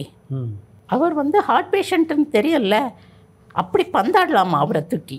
கிரேட் இப்படி பார்த்தாங்க. I know what you are going to tell me I should not see you year after that is it is it I will not அப்படின்னு சொல்லிட்டு வந்துட்டேன். அந்த அளவு உரிமை கொடுத்துருந்தாங்க உங்களுக்கு ஜெயலலிதா? அவங்களுக்கு என்ன ரொம்ப பிடிக்கும். எனக்கு அவங்கள ரொம்ப பிடிக்கும். எனக்கு கலைஞரையும் பிடிக்கும். எனக்கு எம்ஜிஆரையும் பிடிக்கும். எனக்கு ஜானகி அம்மா ஜானகி அம்மா எத்தனை நாள் கூப்பிட்டு ஜானகி அம்மா வந்து ஒரு லார்ஜ் ஹார்ட்டட் பர்சனுங்க எனக்கு எனக்கு தெரிஞ்சு ஒருத்தர் ரொம்ப இதய நோயாளியாக படுத்திருந்தார். ரெண்டு வால்வ் ரீப்ளேஸ்மெண்ட் அந்த ரெண்டு செரியன் டாக்டர் செரியன் சொன்னார் இந்த சில மெடிசன்ஸ் இருந்தால் தான் அவரை காப்பாற்ற முடியும். I'm not having them at present எனக்கு தெரிஞ்சு எம்ஜிஆருக்காக வந்தது அந்த மெடிசன்ஸ் எம்ஜிஆர் இல்லை ஆனால் மெடிசன்ஸ் இருக்கு அம்மா கிட்ட. யாருன்னா வாங்கி நான் வாங்கிட்டு வரேன் சார். நான் வாங்கிட்டு வரேன். எனக்கு அவர் குடும்ப நண்பன். என்ன சொல்லி அம்மா இந்த மாதிரி மெடிசன் வேணுமா? ஆமாம் நீ மூணு மணிக்கு வாமா தரேன். மூணு மணிக்கு பண்ண அத்தனை மெடிசனை எடுத்து கொடுத்தாங்க. ம். எல்லாம் இம்போர்ட்டட் மெடிசன் கிட்டத்தட்ட அன்னைய தேதிக்கு அது பத்து லட்சம் ரூபாய் இருக்கும். எல்லாம் எடுத்துகிட்டு போய் என்ன வேணுமோ யூஸ் பண்ணிக்கோங்கம்மா. எது வேணுமோ எடுத்துக்கோங்க. அப்படின்னு அத்தனையும் கொடுத்தாங்க. அத்தனையும் எடுத்துகிட்டு வந்தேன். அந்த அளவுக்கு அந்த அம்மா அந்த அம்மா நிறைய விஷயங்கள் சொல்லி அழுதுருக்காங்க என் தள்ள நானே மண்ணை போட்டுக்கிட்டேம்மா என் தள்ள நானே மண்ணள்ளி போட்டுக்கிட்டேன்லாம் அழுதுருக்காங்க. அவங்கள்ட்டையும் நெருக்கமாக இருந்திருக்கேன். எம் எம்ஜிஆர்கிட்டேயும் பேசியிருக்கேன். கலைஞர்கிட்டேயும் இருந்திருக்கேன். ஜெயலலிதா கிட்ட ஃப்ரெண்டாக இருக்கும்போதே கலைஞரை பார்த்துருப்பாங்க. ஃப்ரெண்டாக இருந்தவங்களா தெரியாது. அது அது அப்படி யாருமே இருந்திருக்க முடியாதுன்னு நினைக்கிறேன். இருந்திருந்தாங்களோ என்னவோ. நான் அப்படித்தான் இருந்தேன். ஜானகி அம்மாவோட நீங்கள் நெருக்கமாக பழையதில் உங்களால் மறக்க முடியாதுன்னு ஏதோ சொல்லுவீங்க ஜானகி அம்மான்னு மறக்க முடியாது. எனக்கு இந்த மெடிசன் இன்சிடென்ட் தான். அதுக்கப்புறம் வந்து அவங்க விட்டு கொடுத்தாங்க. நான் அந்த மாதிரி இது விட்டு போயிடலான் இருக்கேன். எனக்கு வேண்டாம். அன்றைக்கே செஞ்சுருக்கணுமா நீங்கள் இது? உங்களுக்கு இது நீங்கள் அன்றைக்கே செஞ்சுருந்தா இன்னும் வச- வசந்த பார்த்து பார்க்கப்பட்டு even then it is not too late whatever எது நல்ல விஷயங்களும் இட் இஸ் நாட் டூ லேட்டுங்க பண்ணுறதுக்கு any day is a good day for that பண்ணிவிடுங்க அவங்க நிறைய விஷயங்கள் அவங்களும் என்கிட்ட அழுதுருக்காங்க. மடியில் படுத்து அழுதுருக்காங்க. பா ம். நீங்கள் என்னைக்காவது யோசிச்சிருக்கீங்களா? இப்படிப்பட்ட பிரபலங்களுக்கெல்லாம் நம்ம இவ்வளோ நெருக்கமாக இருக்குமே? எதனால் இது நடக்குது அப்படின்ட்டு என்னைக்காவது யோசிச்சிருக்கீங்களா? யோசிச்சிருக்கேங்க. எனக்கு அதுக்கு எந்த விதமான தகுதியும் கிடையாது. நான் ரொம்ப ரொம்ப ஆர்டினரி இன்னும் சொல்ல போனால் இது கனெக்டிங் பாயிண்ட் என்னன்னு எப்போ யோசிச்சிருக்கீங்களா? ஒன்றும் இல்லை. ஒன்றே ஒன்று தெரியும். என்னுடைய உண்மையான மனசு நேர்மையான மனசு இதை தவிர ஒன்றுமே கிடையாது. யார்கிட்டையும் எதையும் எதிர்பார்க்காது. என் ஜெயலலிதா இவ்வளோ ப்ரெஸ் பண்ணாங்க. இது வேணுமா? ஒன்றுமே எனக்கு வேணாம். I am far from all these things I don't want I am a love you are a lovable person I long only for that friendship nothing else இந்த இது ஒன்று தாங்க இன்னி வரைக்கும் இப்போ இன்றைக்கி நான் துர்கா அம்மா துர்கா கிட்ட நல்லா பேசுவேன். எனக்கு துர்கா ரொம்ப பிடிக்கும். அவங்களுடைய என் கிட்டத்தட்ட வந்து எம்எஸ் சுல்பலட்சுமி பார்க்கும்போது என்ன ஒரு உணர்வோ துர்காவை பார்க்கும்போதும் அந்த ட்ரெஸ்ஸு அந்த இது எல்லாம் தெய்வீகமாக இருக்கும். எனக்கு ஒரு மேடை நிகழ்ச்சியிலே பேசியிருந்தீங்க நீங்கள் ஆமாம் ரொம்ப தெய்வீகமானவங்க அவங்க. அவங்கள ரொம்ப பிடிக்கும் எனக்கு துர்காவையும் இன்னி வரைக்கும் யார்கிட்ட ஸ்டாலினும் அப்படித்தான். யார்கிட்ட பழகினாலும் இது என்னுடைய தேவை. எங்கள் கிராமத்துக்கு வந்திருந்தார். உன்னை சென்னைக்கு வாங்க வந்து பாருங்கன்னாரு ஸ்டாலின். சரின்னு சென்னைக்கு வந்து பார்த்தேன். என்னங்க வேணும் உங்களுக்கு எனக்கு ஒன்று வேணாங்க. இல்லைங்க என்னங்க வேணும்? எனக்கு ஒன்று வேணாங்க. சரி ஒன்றே ஒன்று பண்ணுறீங்க சொல்லுங்கள் எங்கள் கிராமத்தில் ஒரு கோவில் இருக்குங்க. பழைய கோவில். அது என்ன ராமர் கோவில். ஒரு ஆஞ்சநேயர் ஸ்தூபி இருக்குது நாயெல்லாம் காலை தூக்கி ஆஞ்சநேயர் மேலே யூரின் போகுதுங்க. எனக்கு அது பார்த்தா சங்கடமாக இருக்குது பழைய புராதன அதை மட்டும் கட்டி கொடுங்க என்னங்க? சரின்ட்டு சொன்னாராம் அப்புறம்.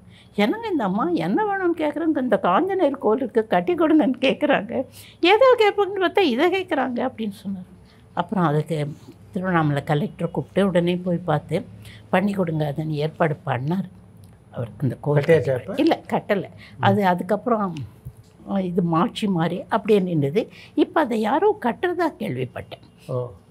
இப்போ சமீபத்தில் சேகர் பாபு பார்த்தேன். நான் கட்டி தரேங்க. நான் எங்கள் ஊரில் வந்து ஒரு பாபா கோவில் கட்டணும்னு எனக்கு ஆசை. நான் கட்டி தரேங்க அப்படின்னு சொன்னார். சரி என்ன பண்ணுவாங்களே என்னன்னு தெரியாது.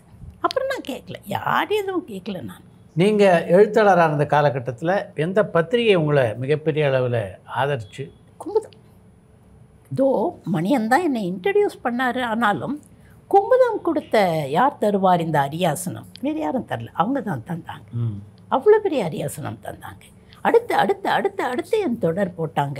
அப்படி ஒரு பப்ளிசைஸ் பண்ணாங்க. நானும் சிவசங்கரியும் சேர்ந்து எழுதின இரண்டு பேர் ஒரு மரம் ஒரு செடி இல்லாமல் போஸ்டர் அடிச்சிருந்தாங்க. Throughout Tamil Nadu. ம். திரும்பின பக்கமெல்லாம். உங்களுடைய எழுத்துக்களில் மிகுந்த பரபரப்பான விமர்சனத்தை சந்தித்த எழுத்து இரண்டு பேர் தான் இல்லையா? விலை மாதர்களால் எழுதப்பட்ட எழுத்துன்னு ஒரு அன்றைய அமைச்சர் ஒருத்தரே பேசினார். அவ்வளோ கடுமையான வார்த்தை. அது ஒன்றும் அப்படிப்பட்ட தீமெல்லாம் இல்லை. அப்படி ஒன்றும் அதில் வந்து ஒன்றுமே கிடையாது. அதையே அப்படி பேசினாங்க. அந்த காலகட்டத்தில் ஒருவேளை அது புதுமையாக இருந்திருக்கலாம். அதுக்கும் முன்னே மேடம்பூரி எல்லாமே வந்தாச்சு. இங்கிலீஷில் எத்தனையோ வந்தாச்சு. இந்த எக்ஸ்ட்ரா மேரிட்டல் அஃபரை வச்சு ஒரு கதை எழுதணும்னு உங்களுக்கு எங்கே தோணுச்சு? இல்லை அது நான் வச்சுருந்தேன். அந்த தீம் வச்சுருந்தேன். குமுதத்தில் இப்படி ஒரு ப்ரப்போசல் சொன்னாங்க. அப்போ நான் சொன்னேன் இன்னொருத்தர் கதைக்கெல்லாம் என்னால் எழுத முடியாது. பிகாஸ் எதுவுமே வந்து அதில் ஒரு அனுபவம் எனக்கு இருக்கணும். அது ஆழமாக என்னை பாதிச்சிருக்கணும். அப்போ தான் என்னால் எழுத முடியும். ஸோ இது என்கிட்ட இருக்குது இது அவங்க எழுதுவாங்களா சொல்லுங்கள் அவங்க எழுதுனாட்டாங்க. சரி நான் அப்படி தான் ஒத்துக்கிட்டேன். அது எனக்குள்ளே இருந்தது. அந்த கதையை சிவசங்கரோடு இணைந்து எழுதிய போது உங்களுக்கும் சிவசங்கருக்கும் ஏற்பட்ட இந்த நட்பை பற்றியும் அந்த புரிதலை பற்றியும் சொல்லுங்கள் சிவசங்கரின்றவங்க ரொம்ப கம்பீரமான ஒரு பெண்மணி. ரொம்ப அழகான ஒரு பெண்மணி. அவங்க வந்து எனக்கு முந்தின எழுத்து எனக்கு இன்ஃபேக்ட் மணியன் என்கிட்ட வந்து சிவசங்கர் எழுதுறாங்க பாரு அந்த மாதிரி நீ எழுது. அப்படின்னு தான் சொன்னார். என்னை வந்து ஒரு சின்ன பொண்ணாக தான் அவர் ட்ரீட் பண்ணார். ஆனால் சிவசங்கர் எழுதுற மாதிரி நான் எழுதுறதுக்கு உங்களுக்கு என்ன? சிவசங்கரி போகிறோம்ல அப்போ என்னைய எழுத சொல்கிறீங்க இந்துமதி இந்துமதியாக தான் எழுதுவா. இதுதான் அவங்ககிட்ட பிடிச்சது. அப்படின்னு சொல்லிட்டு அவங்களோட பழகியிருக்கேன். அவங்க வந்து ஒரு வேர்சடைல் பர்சன் அவங்க அப்போவே மிக மிக நான் எழுத வந்த போதே பிரபலமானவங்க. அவங்களும் பலதரப்பட்ட மிகப்பெரிய மனிதர்களோடெல்லாம் பயணப்பட்டவர்கள். அவங்களுக்கு வாழ்க்கையோட நெளிவு செழிவு என்னை விட தெரியும். ஏன்னா வந்து கொஞ்சம் வெள்ளேந்தி. என்ன இருந்தாலும் ஓப்பனாக பேசி அப்படியே போயிடக்கூடியவ எதையுமே அப்படியே எடுத்துக்கிறவ அவங்க அப்படி இல்லை. நிதானமாக பக்குவப்பட்டவங்க. என்னை விட பக்குவப்பட்ட பெண்மணி அந்த நாவலுக்கு அந்த அளவுக்கு பரபரப்பான விமர்சனம் எழுந்தபோது உங்கள் ரெண்டு பேருடைய மனநிலை எப்படி இருந்து எப்படி எதிர்கொண்டீங்க அதை? அவங்க சொன்னாங்க Indumathi we should immediately react to that we should write about it we should define ourselves no we are not doing அந்த இடத்துல தான் நான் கொஞ்சம் மெச்சூர்டாக நடந்திருக்கேன். No we are not doing any such thing. நம்ம வந்து இதை அப்படியே இக்னோர் பண்ணுவோம். லெட்டர்ஸ் வந்து கொஞ்சம் பாருங்க. ம். அதுக்கும் யார்னு ஒரு தொடர் குமுதத்தில். எழுதுவது யாருன்னே தெரியாம தான் போட்டாங்க கடைசி. வரைக்கும். த்ரில்லர் அதுக்கு வந்து சாக் சாக் சாக்கா லெட்டர்ஸ் கொண்டு வந்து கொட்டுவாங்க. போஸ்ட்மேன்லாம் கதறுவான் நீ இந்த வீட்டை விட்டு காலி பண்ணி எங்கன்னா போ அப்படின்னு. அப்படி வந்தது. உடனே சொன்னேன் "இந்த சங்கரி வேண்டாம். இது எழுத அவங்க எழுத இது எழுத அவங்க எழுத. எல்லாம் வேண்டாம். We have written what we thought is right நம்ம எழுதுனது எழுதுனது மேலே நமக்கு ஒரு கன்விக்ஷன் இருந்தது நம்ம எழுதணும். அவங்களுக்கு எல்லாம் அது ஒரு பண்ணுறாங்க பண்ணிட்டு போட்டோம். ஏன்னா எப்போவுமே அந்த எழுத்து வெளியில் போனதப்போ அது நம்மளது இல்லை சிவசங்கரி. அது வாசகர்களது. அவங்க கிழிச்சு முஞ்சில் இருந்தால் கூட நம்ம தாங்கிக்கணும். இப்படி சொல்கிறாங்களோ சொல்லிட்டு போட்டோம் நம்மளை பற்றி நம்ம குடும்பத்துக்கு தெரியும். நம்மளை என்னை சுற்றி என்ன என் குடும்பம் எனக்கு பெருசு. என்னுடைய என்னுடைய ஹஸ்பண்ட் என்னுடைய குடும்பம் அவங்களுடைய என்னுடைய சித்தி சித்தப்பாக்கள் அப்படி வளர்ந்தோம்னா அவங்களுக்கு என்ன நல்லா தெரியும்? உங்கள் குடும்பத்தில் உங்களை தெரியும். Way what else we want உங்களை தாங்குகிற ஒரு வீட்டுக்காரர் என்னை தாங்குகிற ஒரு வீட்டுக்காரர் வேறு என்ன வேணும் நமக்கு? போதும். விட்டுருங்க அப்படின்னு சொன்னேன். உங்களை பாதித்த சம்பவங்களை தான் நீங்கள் எழுத்து ஆக்கியிருக்கீங்கன்னு சொல்லியிருக்கீங்க பல பேட்டிகளில் என்னை என்னை பாதித்த என் வாழ்க்கையில் நடந்திருக்கணும்னு அவசியம் இல்லை. இப்போ உங்களுக்கு அடிபட்டா அது எனக்கு வலிக்கணும். இவ்வளோ பழகணும் இல்லை. சித்ராவுக்கு நாளைக்கு எதுனா ஒன்றுனா என் மனசு பதறும் இல்லை. அந்த பதற்றம் அந்த வலி அந்த வேதனையை நான் அனுபவிச்சிருக்கணும். யாருதாவும் கூட இருக்கலாம். இப்போ குருத்துன்னு ஒரு சிறுகதை அந்த இலக்கிய. சீக்கியவாதி. அது நமக்கு நடந்ததா? நான் எனக்கு ஏற்பட்டதா? ஆனால் அதனோட பாதிப்பு எப்படி இருந்தது எனக்கு? அந்த பாதிப்பு இருந்தால் தான் எழுதணும். அது இருந்தால் தான் நான் பேனாபத்தோடுவேன் அது பாதிக்காத பட்சத்தில் ஒரு சக்ஸஸ்ஃபுல் ரைட்டிங்காக அது வரவே முடியாது. உங்களுடைய எல்லா எழுத்துக்களுக்கும் இது போன்ற சம்பவங்கள் தான் உண்டு. காரணமா? நிச்சயமா உண்டு. எல்லாத்துக்கும் உண்டு. ஒரு காலகட்டத்தில் இனிமேல் நம்ம எழுத வேணாம் அப்படின்னு ஒரு முடிவை இந்து எடுக்கிறதுக்கு காரணம் என்ன? ஓப்பனாக சொல்லணும்னா ஒரு திரைப்படம் தயாரித்து நான் வாங்காத கடனுக்கெல்லாம் நான் கடனாளியாகி வீட்டு வீட்டு கதவை காலால் எட்டி உதச்சிக்கிட்டு உள்ளே வந்து பத்து பேரெல்லாம் நின்று மீ அண்ட் மை ஹஸ்பண்ட் நாங்கள் தான் என் சன் வந்து யூஎஸில் இருந்தான் பிவில்டர்டு அஸ்டானிஷ்டு இன்னும் பண்ணுறதுன்னு தெரியாமல் பத பதச்சு போய் என்ன எனக்கு அந்த மாதிரியெல்லாம் சந்திச்சு கோர்ட்டு கேஸு அதெல்லாம் பார்த்த உடனே ச்சீ என்னடா மனசு உடைஞ்சிட்டேன் நான். மனசு உடைஞ்சு மூலையில் முடங்கிட்டேன். வேண்டாம் எதுவுமே வேண்டாம். இந்த வேர்ல்டு வேணாம் ரைட்டிங் வேணாம் லிட்ரேச்சர் வேணாம் சினிமா வேணாம் எதுவுமே வேண்டாம். அப்படின்னு முடங்கி கிட்டத்தட்ட I lost about ten years ரைட்டிங்கில் பத்து வருடங்கள் என் புஸ்தகங்களும் கிடைக்கல. இந்துமதின்னு ஒரு எழுத்தாளியை ஆல்மோஸ்ட் எல்லாரும் மறந்தாச்சு. ஒரு ரீபர்த்துன்னு கேள்விப்பட்டீங்களா? அதுதான் இப்போ எனக்கு நடந்தது.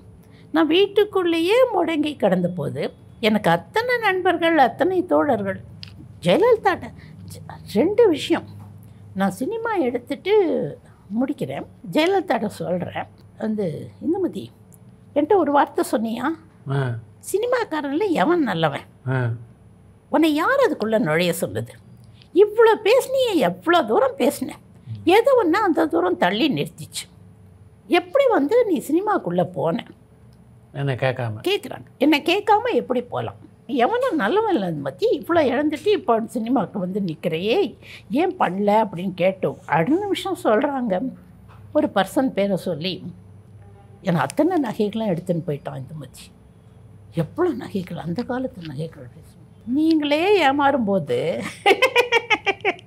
நான் ஏமாத்திரம் சினிமாலேயே இருந்து அரசியல்லையே இருந்து அத்தனை மனிதர்களையும் வெற்றி கொண்டு காலால் எல்லாம் எட்டி உதச்ச நீங்களே ஏமாறும்போது நான் எந்த மூலைக்கு? ரஜினிகாந்த் கூப்பிட்டாரு. உனக்கு இது தேவையா உங்களுக்கு? எதுக்காக வந்து சினிமாலாம்? அதுக்குள்ளே நான் பா முக்கா பாதி இறங்கிட்டேன். வேணாங்க அமைதி போயிடும். நிம்மதி போயிடும் அமைதி போயிடும். அவர் ஃபாஸ்ட்டாக. வேண்டாம் இதெல்லாம் வராதீங்க அப்படின்னு சொல்லி ஒரு இருபது நிமிஷம் பார்க்கணும் சொன்னவர் ரெண்டு மணி நேரம் பேசினார் அன்னைக்கு. ம். சரி அப்படின்ட்டு வந்துட்டேன். இல்லை அவர் வந்து நிறைய பேசினார். இந்த சினிமான்றது என்ன தெரியுங்களா? டைம் இஸ் வெரி இம்பார்ட்டன்ட் ஒரு படத்தை மூணு வருஷம் எடுத்தாங்கன்னா தாங்காது. ஒரு படத்தை மூணு மாதத்துக்குள்ளே முடிக்கணும். Time is money money is time அந்த கால்குலேஷன் தெரிஞ்சவங்களோட தான் நீங்கள் படம் பண்ணணும். கால்குலேஷன் தெரிலன்னா படம் பண்ணக்கூடாது. எனக்கு அதெல்லாம் தெரியாதுங்க. ஏதோ வந்து கேட்டாங்க. நான் இதோ ஒரு நட்பின் அடிப்படையில் அன்பின் அடிப்படையில் பண்ணப்பட்டது அது அப்படின்னு சொன்னேன். இது ரெண்டும் ரெண்டும் மறக்க முடியாது. அந்த மாதிரி இருந்தபோது அந்த மாதிரி அடி வாங்கின போது எனக்கு சினிமாவில் ஓடலை கஷ்டம் வந்துருச்சுன்றதை விட அதனுடைய இதெல்லாம் தான் என்னை ரொம்ப தாக்கம். ஓடலை படம் எடுத்தோம் ஓடலை ஓகே தட்ஸ் ஓகே ஓடும் ஓடாது. இந்த எங்கெல்லாம் கடன் என்ன கடன் ஒன்றுமே எனக்கு தெரியல. தெரியல இதெல்லாம் நீ கைத்து போட்டிருக்கீங்க கைத்து போட்டிருக்கீங்கன்ற போது ஏ ஓ போட்டிருக்கோமா? அப்படின்னு தான் நான் பார்த்தேன். அப்போது எவை இவனும் ஹர்பல் நைட்டு மேல் கைட்ரா ஃபேனை கோர்ட்டில் கேஸ் முடிஞ்சு டபாலியோட வரோம் கைட்ரா ஃபேன் அசீம் சொத்து. என் நல்ல காலம் வீடு என் பையன் பேரில் இருந்தது. இன்னொரு வீடெல்லாம் போயிடுச்சு. பையன் பேரில் இருந்தது. கைட்ரா ஃபேனை க தூக்குடா ஃப்ரிட்ஜை ஏசிய கைட்ரா எப்படி இருக்கும் பாருங்கள் அப்படியெல்லாம் வந்து ஒரு கட்டம் இருந்தது. அப்படியெல்லாம் ஒரு கட்டத்தையும் கடந்து வந்ததுக்கப்புறம் இந்த I wanted to be far away from this world எதுவுமே வேண்டாம் அப்படின்னு அமைதியாக போயிடலான்னு இருந்தேன். அதுக்கப்புறம் இப்படி முடங்கினதுக்கு போது ரெண்டு பேர் அப்பவும் பாருங்கள் விதி வந்து குறுக்கிடுறது பட்டுக்கோட்டை பிரபாகர் வந்தார் வீட்டுக்கு. அதான் கேட்க வந்தேன். ஆமா. ம். வந்து நீங்கள் இப்படி இருக்கக்கூடாது. அதுக்கு முன்னால் அவர் எனக்கு அத்தனை பரிச்சயம் கிடையாது. செய்தி கேள்விப்பட்டு நல்ல கேள்வி. செய்தி கேள்விப்பட்டு தான் வந்தார். நீங்கள் எழுதணும் திரும்ப வெளியே வரணும். உங்களுக்காக எத்தனை பேர் காத்து கிட்டத்தட்ட ஒரு நூறு பேர் அறிமுகப்படுத்தினாங்க. என்னுடைய வாசகரை வாசகர்னு அவர் அறிமுகப்படுத்துகிறாரு எனக்கு. இவங்கெல்லாம் உங்கள் ரைட்டிங்காக காத்துட்ருக்காங்க. What are you doing come out அப்படின்னு சொன்னார். இன்னொரு ஆள் வந்து ராம்ஜி. ஹிந்து தமிழில் இருந்தார். அப்போ அவர் விகடனில் இருப்பார் பக்தி விகடன். அங்கேருந்து வந்தார். அவர் தான் முதல்ல வந்தார் பட்டுக்கோட்டைக்கு முன்னால். இந்த மாதிரி நீங்கள் இப்படி இருக்கக்கூடாது. உங்களை பற்றி நான் பக்தி விகடன் தான் நான் இருக்கேன். நான் என்ன பண்ண முடியும்னா உங்களுடைய பூஜை அறை உங்களது உங்கள் பூஜை இதெல்லாம் நான் போடுறேன். இதுக்கப்புறம் நீங்கள் எழுத ஆரம்பிங்க. அப்படின்னு சொல்லி அதெல்லாம் போட்டார். அது ஒரு சின்ன தூண்டுதல். பிரபா வந்து பற்ற வச்சு பெரிய நெருப்பாக்கி என்னை திரும்ப வந்து எழுத வச்சு அற்புதமான ஒரு மனிதருங்க அவர். கொட்டி எழுத வச்சார். உங்களுடைய கணவர் உங்களுடைய எழுத்து பணிகளுக்கு எந்த அளவுக்கு உங்களுக்கு துணையாக இருந்திருக்கார் சரி to be very frank with you அவருக்கு தமிழ் படிக்க தெரியாது. என். பையனுக்கும் தெரியாது. அடி என் பையன் சுத்தம். இவராவது இப்பெல்லாம் நல்ல தப்பு தப்பாக தமிழ் எழுதி தப்பு தப்பாக கற்றுக்கிட்டு பண்ணார். தரையில் மட்டும்தான் அவர் படிச்சிருக்க ஒரே நாவல். பட் என்னோட ஹஸ்பண்டுக்கு என்னை வந்து எல்லாருக்கும் வந்து கணவன் மனைவின்னா ஒரு கட்டத்துக்கு மேலே தான் அறிமுகமாயிருப்பீங்க. உங்கள் மனைவியோ உங்களுக்கு வந்து உங்களுடைய கல்யாண ஏஜுக்கு அப்புறம் தான் எனக்கு அப்படி இல்லை. என்னை சின்ன குழந்தையிலேருந்து பார்த்தவர். என்னை தொட்டில் போட்டு பேர் வச்சதுலேருந்து குளிப்பாட்டி ஸ்கூலுக்கு அனுப்புனதுலேருந்து எனக்கு முதல் பேனா அவர் தான் வாங்கி கொடுத்தாரு. அந்த மாதிரி பழக்கம் எங்கள் வீட்டிலேயே படித்தார் வளர்ந்தார். என்னுடைய சொந்த தாய் மாமன் அவர். அவன் அதனால் அப்போலேருந்தே பழக்கம். He knows me in and out what I will do what I will not do what I am and என் என்ன மாதிரி குழந்தைத்தனம் இவகிட்ட இருக்கும். எவ்வளோ innocent she is and how bold she is at the same time அப்படின்றதெல்லாம் அவருக்கு தெரியும் தெரிஞ்சதுனால எல்லாத்துக்கும் பணம் தானே போச்சு. அவ்வளோதானே இல்லை இதெல்லாம் வந்து விட்டு. போச்சு பரவாயில்ல. அத்தனை கடன் அடைப்போம். எல்லாத்தையும் அடைக்கலாம். அப்படின்னு கொஞ்சம் கொஞ்சமாக எனக்கு நான் ஏதோ பண்ணிக்க போடணுன்ற பயம் வந்துருச்சு அவங்களுக்கெல்லாம். எல்லாருமே வந்து அப்படி அப்படி என்னோட என்னோடய சித்திகள் இவர் தாய்மாமன்னா அவரோட சிஸ்டர்ஸ் எங்கள் அம்மாவே அந்த எனக்கு ஒரு சித்தி தான். எல்லாருமே என் ரெண்டு சித்தி சித்தப்பாக்கள் என்னோட ஹஸ்பண்ட் என் என்னோட சொந்த தாத்தா பாட்டி தான் எனக்கு மாமனார் அம்மா எல்லாருமே அப்படியே அரவணைச்சு என்னை காப்பாற்றினாங்க என்னை வெளியில் கொண்டு வந்தாங்க. நான் சா எழுதிட்டு இருந்தேன்னா எங்கள் மாமியார் கம் பாட்டி இந்து என்னடி எழுதுற? படுத்துக்கோடி இவ்வளோ நேரம் எழுதுறேடிம்மா அப்படின்னு எதுனா பண்ணி கொண்டு வந்து கொடுப்பாங்க டேபிள் கிட்ட. டீ காஃபி போட்டு கொண்டு வந்து கொடுப்பாங்க. அதுபடி அந்த அரவணைப்பும் அன்பும் என்னை வந்து என்னை அன்பான விழாவே அவங்க தான் உருவாக்குனாங்க. உங்களை திரையுலகத்தில் ஈர்த்தது எது ஆக்சுவலாக இல்லை இல்லை சினிமாவுக்கு வரணும்னு நான் முடிவெடுக்கலைங்க. சினிமா வந்து என்ன என்னை வந்து அபவணனுக்கு முன்னாலேயே பாலச்சந்தர் கூப்பிட்டுட்டு இருந்தார். பாரதிராஜன் நேமா உனக்கு சினிமா வந்து எப்படி எடுக்கிறாங்கன்னு பார்க்கணுன்னு ஆசைப்பட்டினா வா ஒரு படம் போ உங்களுக்கு தெரியுமே அப்படி தான் அவன் முதல்ல எனக்கு ரொம்ப பிடிச்ச டைரக்டர். தமிழ் திரைக்காக ஒரு ஹோ அந்த ஹோட்டல் அவர் பேர் என்னங்க? இந்த அரசியல்வாதி ஒருத்தரோட ஹோட்டல் இருந்தது. ஆர்கே செல்வமணி இருந்தார். ஆபா என்னை கூட்டிகிட்டு போயிருக்காரு கதை சொல்ல. ம். இவர் பால பாரதிராஜா உள்ள சண்முகம். ஆ ஏசி சண்முகத்தோட ஓட்டு உள்ளே கூட்டிகிட்டு வந்து உட்கார்ந்த உடனே வந்தார். நீங்கள் எங்கே இங்கே? அவர் வந்து எங்கள் வீட்டுக்கு வந்து கதை சொல்லியிருக்காரு. எப்படி இருக்கும்னு தெரியுமா? இது உங்களுக்கு பிடிச்சிருக்காருன்னா கேட்பார். என் மேலே ஒரு நிறைய மரியாதையும் அன்பும் வச்சுருந்தார். என்ன ஒரு மனிதத்தனம். கிரேட் என்ன ஒரு மனிதனே என்ன ஒரு ரெஸ்பெக்ட் உங்களுடைய தரையில் இறங்கும் விமானங்கள் தான் என்னுடைய நிழல்களுக்கு ஒரு இன்ஸ்பிரேஷன் ஓகே அப்படின்னு சொன்னார். புல்தரையை மிதிக்காதீர்கள்னு ஒரு கதை எழுதினேன். அதுதான் அந்த ரத்தியோட படம். நிறம் மாறாத பூக்கள். இதை தான் நான் எடுத்திருக்கேன். அப்படின்னு சொல்லிடுவார். கலை அவர் வந்து கலைஞனுங்க. எக்ஸலண்ட் கலைஞன். அந்த மாதிரி ஒரு உள்ளம் இருக்கிறவங்களுக்கு தான் கலை ஆராதிக்க முடியும். அவர் ஆராதனை பண்ண வேண்டிய ஒரு ஒரு முதல் மரியாதை எடுத்த அதே மாதிரி அறிவுபூர்வமானவர் பாலச்சந்தர் எல்லாம் ஒரு சீரியலாவது உனக்கு நான் பண்ணுறேன் அவர் கூப்பிட்டாரு இவர் அனந்துக்கு அப்புறம் நீ வா என் டீமோட சேர்ந்துரு. என் டீமோட இரு. வசந்த் வீட்டுக்கு வசந்த் நான் நல்ல வீட்டுக்கு வந்து வராதே இந்துமதி ம். வராதே. அப்படின்னு சரி வசந்த் நான் வரல. நான் வரதாவே இல்லை எனக்கு எதுக்கு? நான் வரல. அப்படின்ட்டு. ஓ போகல அப்புறம் ஃபோன் பண்ணுவார். இந்த கதையை சப்மிட் பண்ணு. நான் டைரக்ட் பண்ணுறேன் பாலச்சந்தர் டைரக்ஷன்னு கொடு. எல்லா எல்லா சேனலுக்கும் சொன்னார். நான் பண்ணல. என்ன எனக்கு தோணுனாதாங்க நான் பண்ணுவேன். தோணலைன்னா என்னவா இருந்தாலும் பண்ண மாட்டேன். பண்ணலை. அவங்களெலாம் கூப்பிட்டது மணிரத்னம் கூப்பிட்டாரு. அந்த யூனிட்டோட இருக்கிறதுக்கு நான் நேராக போய் சொல்லிட்டு வந்தேன். நான் பாதி படம் எடுத்துட்ருக்கேன். அதை விட்டுட்டு வர முடியாது இப்போ. இது வந்து ஸ்டார்ட் ஆன பிறகு. ஸ்டார்ட் ஆன போடியா ஓ சரின்னு சொல்லிட்டேன் அப்போ அங்கெல்லாம் போகல அப்போல்லாம் போகாத போது இது ஏன் போனேன்னா அவள் வீடு தேடி வந்தார். முதல்ல வந்து ஒரு பிராமின் சப்ஜெக்ட்னு சொன்னாங்க. பக்தியுடைய சப்ஜெக்ட்னோடனே அவங்க முதல்ல பாலகுமார்கிட்ட போயிருக்காங்க டயலாக் எழுதுறதுக்கு. என்ன அவங்களுக்கு பாலாவோட சரி பண்ணலான்னு தெரியாது. பாலாட்ட நான் கேட்கல என்னடா நீ போனியா? நானும் வாடா படம் என்னடா போனியாடான்னு நான் கேட்கல விட்டேன். அவங்க வந்த உடனே பாலாட்ட போனுங்க எங்களுக்கு ஒத்து வரல நீங்கள் எழுதுறீங்களான்னு கேட்டாங்க. சரி நான் எழுதுறேன்னு சொன்னேன். நான் எழுதுறேன்னு சொல்ல சொல்கிறேங்கன்னு சொல்லிட்டு நான் என்ன பண்ணேன் ஏவிஎம் சரவணன்ட்ட கேட்டேன் இங்கே உங்களுக்கு அவங்க வந்து மனிதர்கள்னால் tea coffee cigarette drink women எந்த கட்டப்பழக்கம் இல்லாத ஒரு குரூப்புங்க அது. நல்லா சூட் ஆவாங்க. சிவகுமாரும் அதே தான் சொன்னார். அவங்களாம் சொன்னப்பறம் சரி நான் பண்ணுறேன்னு சொன்னேன். பண்ணுறேன்னு நான் என்ன- உண்டு உங்களுக்கு நாற்பதனாயிரம் கொடுக்குறோம் அப்படின்னு எனக்கு காசெல்லாம் வேண்டாம். நீங்கள் எனக்கு பழைய கார் பைத்தியம். ரொம்ப வைத்தியம் டிடி வாசு நிறைய பழைய கார் வச்சுருப்பார். அப்போ வாசுகிட்ட சொல்லுவேன் அந்த கார் எனக்கு கொடுங்க இந்த ஹெரால்டு எனக்கு கொடுங்க பழைய மாடல் ஹெரால்டு.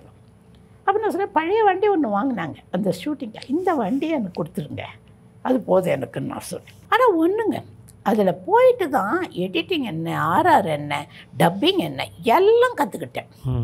அது வந்து அந்த அனுபவம் இருக்குது பாருங்களேன். அது வந்து எந்த காட்டில் போய் தவம் பண்ணாலும் கிடைக்காது. எத்தனை கோடி கொட்டாலும் கிடைக்காது.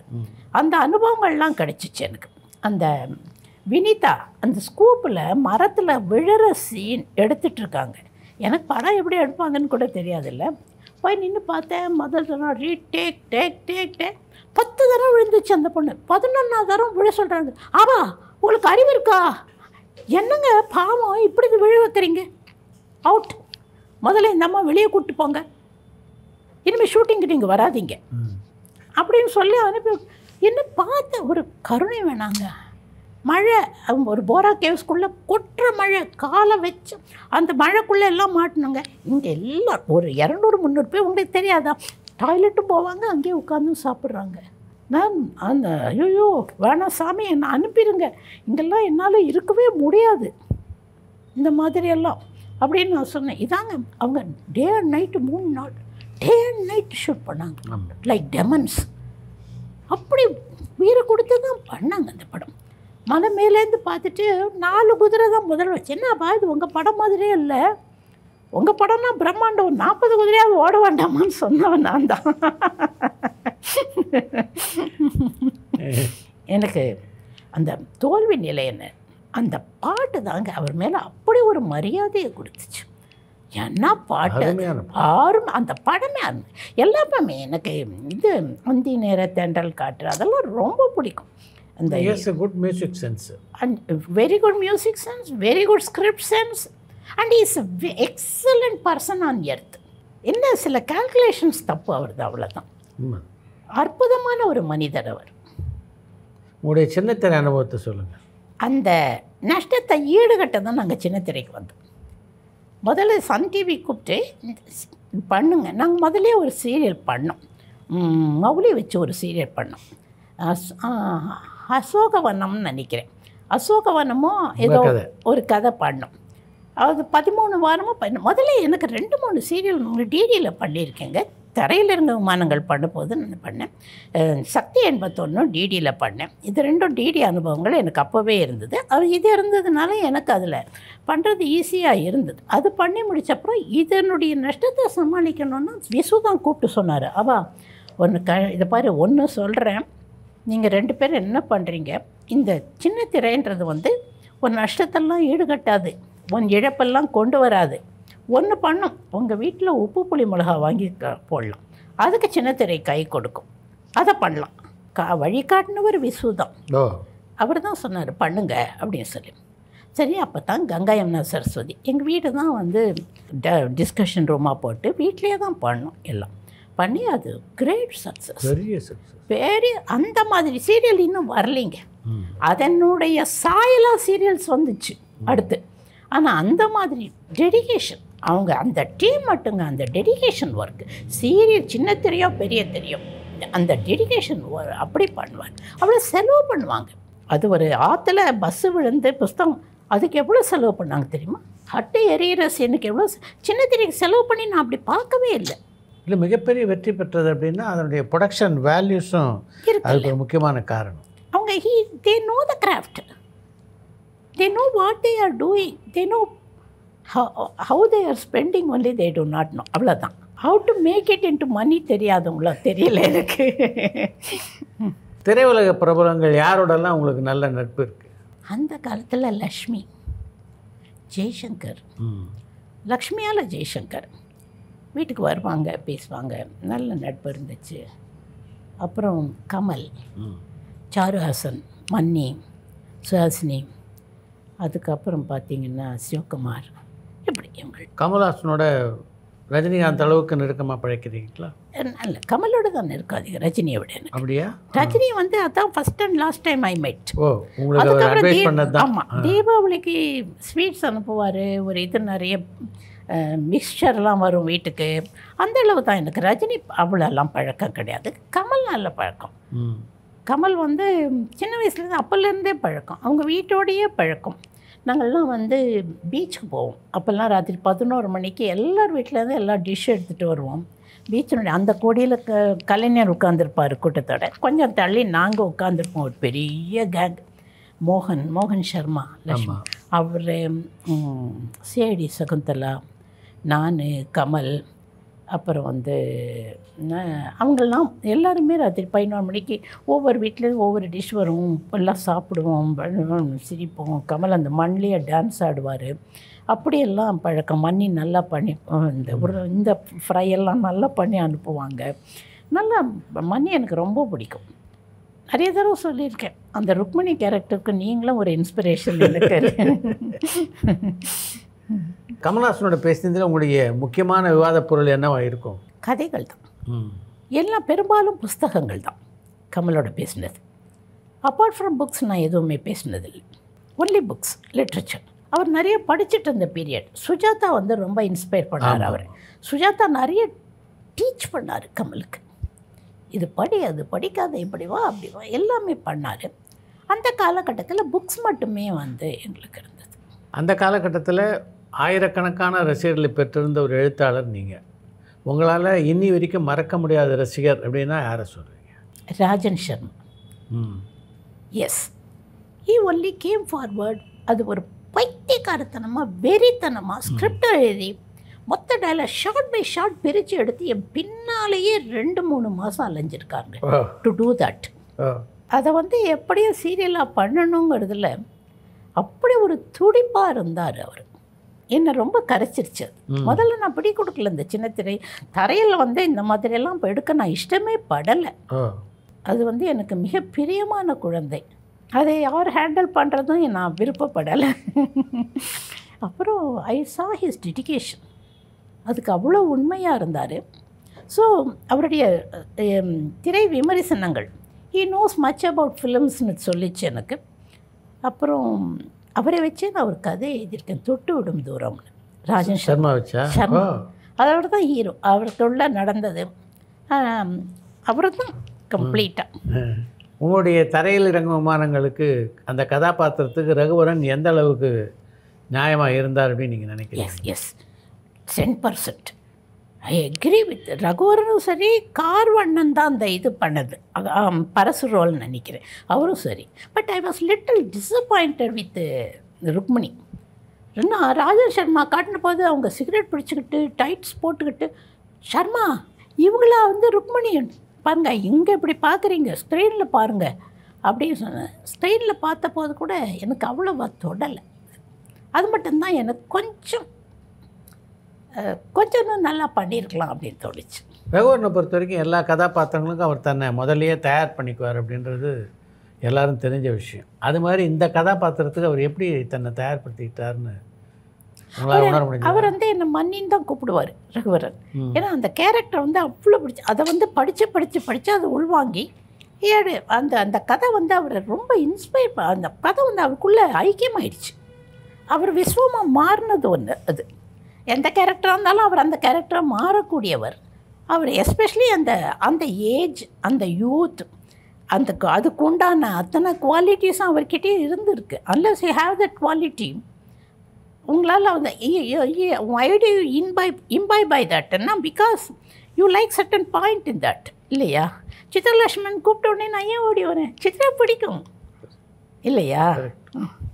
பெரும்பாலும் பொழுதுபோக்கு அப்படின்றதே கதையை படிக்கிறதா இருந்தது. அதனால தான் உங்களை போன்ற எழுத்தாளர்களுக்கு ஒரு மிகப்பெரிய மரியாதை இருந்தது. இன்றைக்கி வந்து அந்த அளவுக்கு வாசிப்பு இருக்கா மக்கள்கிட்ட?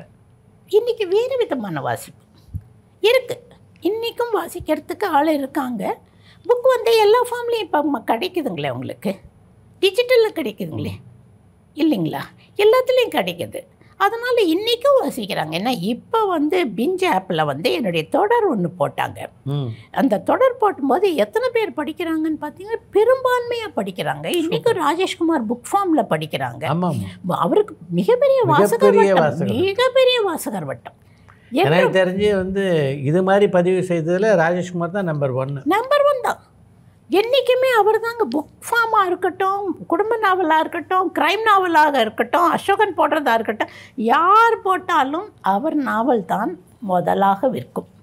அது ஒரு ராசி அது ஒரு எழுத்து அதுக்கு அந்த மாதிரி கொஞ்சம் கூட விரசமில்லாத ஒரு நாவல் அவர் வந்து எனக்கு தெரிஞ்சு இது இது மாதிரி கொண்டு போகிறார் சேஸ் மாதிரி கூட அவர் எழுதுறதில்ல. நம்ம அவர் ஒரு இந்த பாணியில் கொண்டு போகிறார் அதுக்கு நிறைய பரந்துபட்ட வாசகர்கள் இருக்காங்க. அற்புதமான மனிதர். நீங்கள் பலதரப்பட்ட கதை கருவில் வந்து கதையாக்கியிருக்கீங்க. ஒரு பக்கம் த்ரில்லர் பண்ணியிருக்கீங்க ஒரு பக்கம் சமூக பிரச்சனையை தொட்டிருக்கீங்க. உங்களுக்கு விருப்பமான சப்ஜெக்ட் எது? எனக்கு வந்து விருப்பமானது என்றைக்குமே to go deep into human mind சைக்கலாஜிக்கலாக ஒன்று அனலைஸ் பண்ணி ஒரு கேரக்டர் எழுதுறது எனக்கு பிடிக்கும். ஏன்னா ஒவ்வொரு கேரக்டர் பின்னால் நீங்கள் பார்த்தீங்கன்னா there must be a psychological and emotional reasons அந்த மாதிரி அனலைஸ் பண்ணி உள் உண்- உள்மன உணர்வுகள். அதில் ஸ்டெல்லா ப்ரூஸ் ரொம்ப நல்லா எழுதுவார். அந்த உள்மன உணர்வுகளை தொடக்கூடிய அற்புதமான ஸ்டெல்லா ப்ரூஸ் அவரும் பார்த்தா ரொம்ப கம்மியான எழுத்துக்கள் தான் செல்லா புருஷம் ஏங்க ருத்ரையோட ஒரு படத்தை இன்னும் சொல்கிறோம்ல அவள் அப்படித்தான் யாருன்னு? சைக்கலாஜிக்கல் ட்ரீட்மெண்ட் தானே? அந்த ஒரே ஒரு ஹிஸ்டீரியா சீன் ஒன்று மறக்க முடியுமா நம்மளால்? Who else can do it true ஒவ்வொன்றும் கல் இருக்கா? தீர்ந்து போச்சா? அப்படின்னு கேட்பாள் ஒவ்வொரு டயலாக் வண்ணனையில் ஒன் டயலாக் தான் நிற்கிறேன் இல்லைங்களா? அண்ணன் சோமசுந்தர் ரெண்டு பேரும் ரெண்டு பேர் சேர்ந்து எழுதுனது. ஒரு அற்புதமான ஒரு திரைப்படம். அப்பா எக்ஸலண்ட் ஸ்பெல் பவுண்ட் அது. இன்றைக்கி தமிழ் சினிமாவிலும் எழுத்தாளர்களை சரியான முறையில் பயன்படுத்திக்குது அப்படின்னு நினைக்கிறீங்களா? இப்போல்லாம் பயன்படுத்திக்கிறாங்கங்க. இப்போ வந்து தமிழ் எழுத்தாளர்களை வந்து கொண்டாடுற ஒரு கட்டம் வந்திருக்கு இப்போ. ஜெய்பீம்லாம் எப்படி ஜெயிச்சிச்சு? இது பொன்னியின் செல்வன்? ஸோ கதைக்கும் பொன்னியின் செல்வன். அந்த கிராண்டியர் அதுவும் ஒன்று இருக்குல்ல எடுக்கப்பட்ட விதம் ஒன்று இருக்குல்ல. வீட்டுக்குள்ளே உட்காந்து தான் நான் பார்த்தேன் வெளியே தியேட்டரில் பார்க்கல. அந்த ஒரு ஒரு ஒரு சென்டர் நாட் வந்து மக்கள் வந்து அவங்கள அது ஐடென்டிஃபிகேஷன் ஆஃப் கேரக்டர் தாங்க ரொம்ப முக்கியம் எல்லாத்துலேயும். நான் அந்த மஞ்சு மஞ்சுல வந்து எல்லா பெண்கிட்ட உள்ளுக்குள்ளேயும் ஒரு மஞ்சு இருக்கா?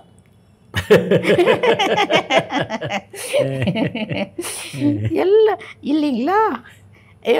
நிறைய ஆண்களுக்குள்ள ரஜினி இருக்காரு அந்த ரஜினி. உண்மைதான். கமல் வந்து கமலாவே தான் இருந்தார் அதில். இந்து மதுரையுடைய அடுத்த பயணம். எதை நோக்கி இருக்க போகுது? Who knows I do not know as I told you I do not plan anything. நான் இன்னைக்கு இங்கே வருவேன்றது கூட நான் பிளான் பண்ணல. I don't plan any thing அடுத்த பையனா என்ன இருக்கும் என்ன. Wherever it is whatever it is if I get into that I become sincere to that I want to be true to that அவ்வளோதான் இன்றைக்கி நீங்கள் இந்துமதியாக இந்த அளவு புகழ் பெற்றிருப்பதற்கு இவருக்கு நான் நன்றி சொல்லணும் அப்படின்னு சொல்ல நினச்சிங்கன்னா யாருக்கு சொல்லுவேன் நம்பர் ஒன் எங்கள் ஹஸ்பண்ட் என் பாட்டி அதுக்கப்புறம் மணியன் அப்புறம் எஸ்ஏபி ரொம்ப நன்றி. உங்கள் அனுபவத்தெல்லாம் thank you Chitra. Thank you very much I me I meeting you after long time yes yes ரொம்ப வருஷம். எனக்கு தெரிஞ்சு ஒரு எட்டு பத்து வருஷம் ஆயிருக்கும். இருக்கும். பத்து வருஷம் இருக்கும். ரொம்ப அப்படியே தான் இருக்கீங்க. Not change bit. Okay nice meeting you